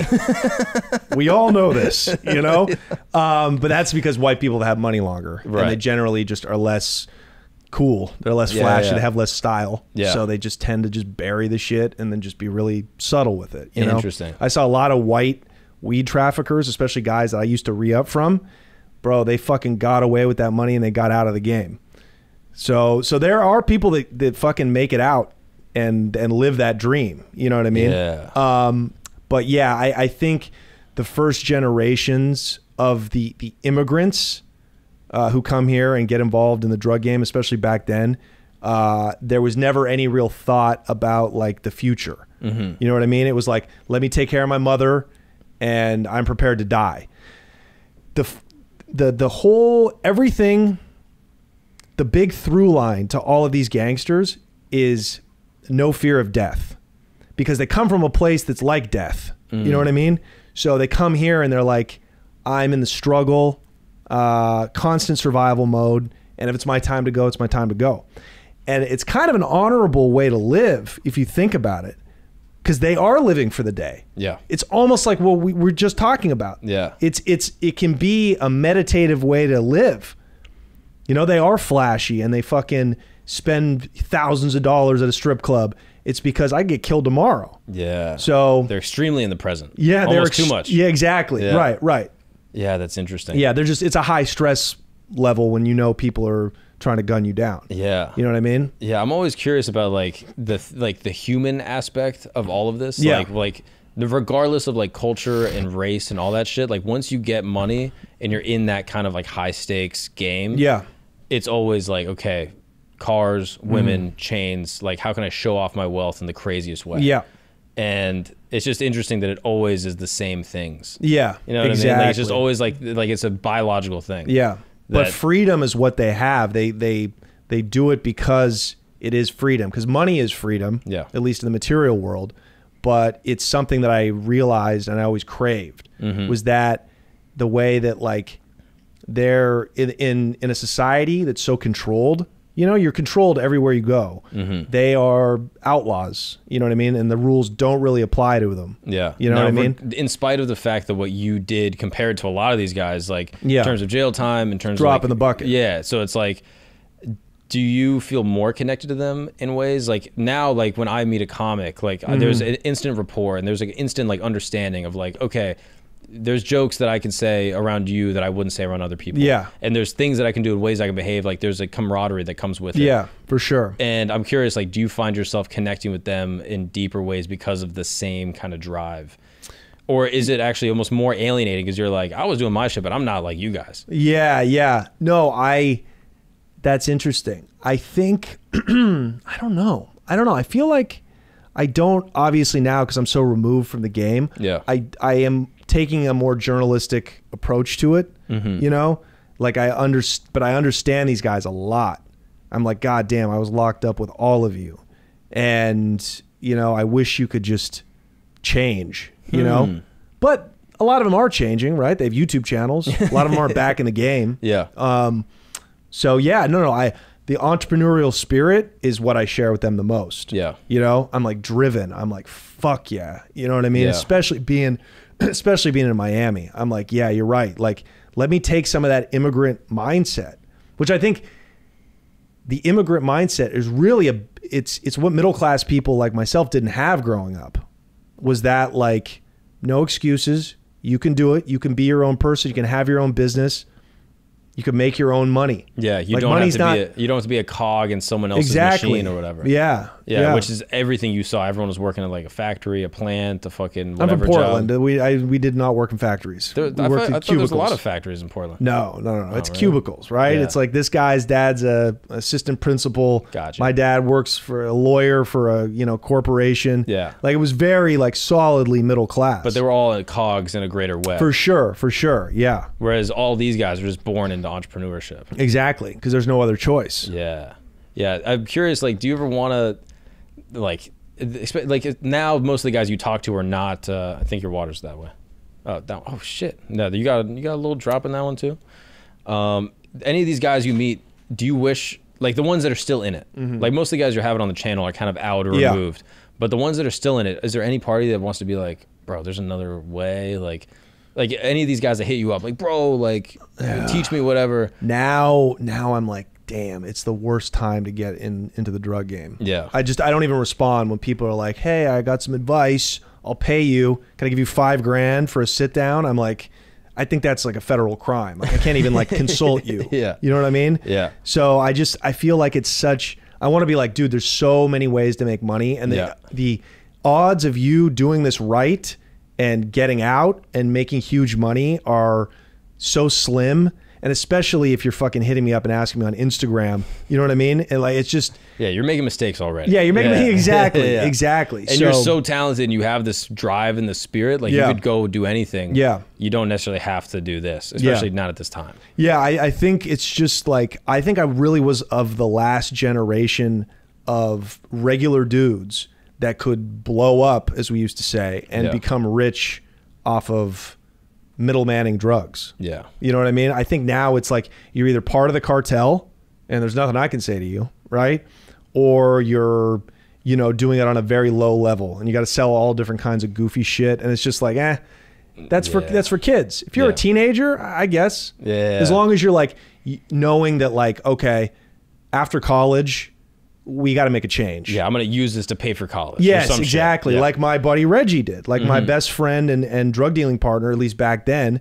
But dude, he got out of the game like without a scratch. Like he like he paid for his tuition, you know, he paid his rent. Yeah. Didn't was no burden on his parents, right? And he was like, dude, we just like we're living the dream. And I'm like, no, we gotta make millions. Yeah. Right. So it's like if but if kids just could see that like this should just be like a training kit for like the legitimate world, like that's the best way to fucking, you know, sell drugs. That's Yeah. the best way to be part of the game. if right? you want to be part of the game. Yeah, Yeah. yeah. But, it's like being an alcoholic. Everybody's an alcoholic in college. You party, take beer bongs out of your ass. Yeah. You know what I mean? but after college, if you're still doing that, like you, we might have, we might have a drinking problem. That's interesting. Yeah, that's a good way to phrase it. Do you have any uh, episodes coming up that you're you're excited about? Yeah, well, the one dropping tomorrow is with that guy Apache, that Cuban drug trafficker. Um, fucking incredible. Looked like Steven Bauer, a Manolo from Scarface too. Like the such a Cuban American, fucking Cubano. You know, we're Yeah. fucking selling. He's like the van would pull up and it'd be a thousand keys, and the Colombians would say, "Take as many as you want." Like, yeah, Oh, that's that shit is fucking crazy. We're going to Detroit to film with this guy who used to be enforcer for the mafia in Detroit. Detroit has a huge mob history nobody knows about. Jimmy Hoffa was whacked in Detroit. Oh, that's right. So yeah, so we got that coming up. Interviewing a fucking corrections officer. We're talking to this guy who used to work with the cartels out of Arizona, and he would get like hundreds of pounds delivered to him a day, just fresh off the border. Did ten years in a Mexican prison in a Mexican prison. Yeah, it's next level. The next level, You dude. saw like those pictures of like the Salvadorian prison where like they're all like lined Oh up. my God, and, like, yeah. Just like fucking yeah, chained yeah. together. Well, that's like, torture. They're doing that. That's them cracking down on MS-13. In Mexican prison, there's no rules. You're just getting stabbed. If you can't pay your way into a nicer part of the prison, you're going to be getting in some knife fights. Oh, no ifs, ands, or buts. So. Yeah, we got a lot of cool stories though. So check out the channel, The Connect with Johnny Mitchell. Yeah, it's dope. I really love all the stuff I've seen. Thanks, man. man. You do a Appreciate great it, job. dude. You do a great Yeah. job. You have a great knowledge of everything, and you're able to ask the right questions in order to like get really interesting tidbits Thank and you. stories. Thank you. It's that's really cool. That's where I came up with the idea. I'm like, what if somebody actually talked about the details of drug trafficking that was in it? Yeah. You know? It's dope. so man. thanks, man. Yeah. Yeah. and check out my comedy too. I do stand up comedy. Yes, Believe it or not. Yeah, not only in prisons. You Yeah, yeah, not around- just prisons. Yeah, the almost exclusively in the free world. nice, dude. Keep Yeah. it that way. Yeah. Yeah, yeah, yeah. Well, That's Yeah. dope, brother. Thank you so much for coming on. Thanks and, for uh, having me. It's a pleasure. Marky. I appreciate you, brother. Let's go do stand up. All right.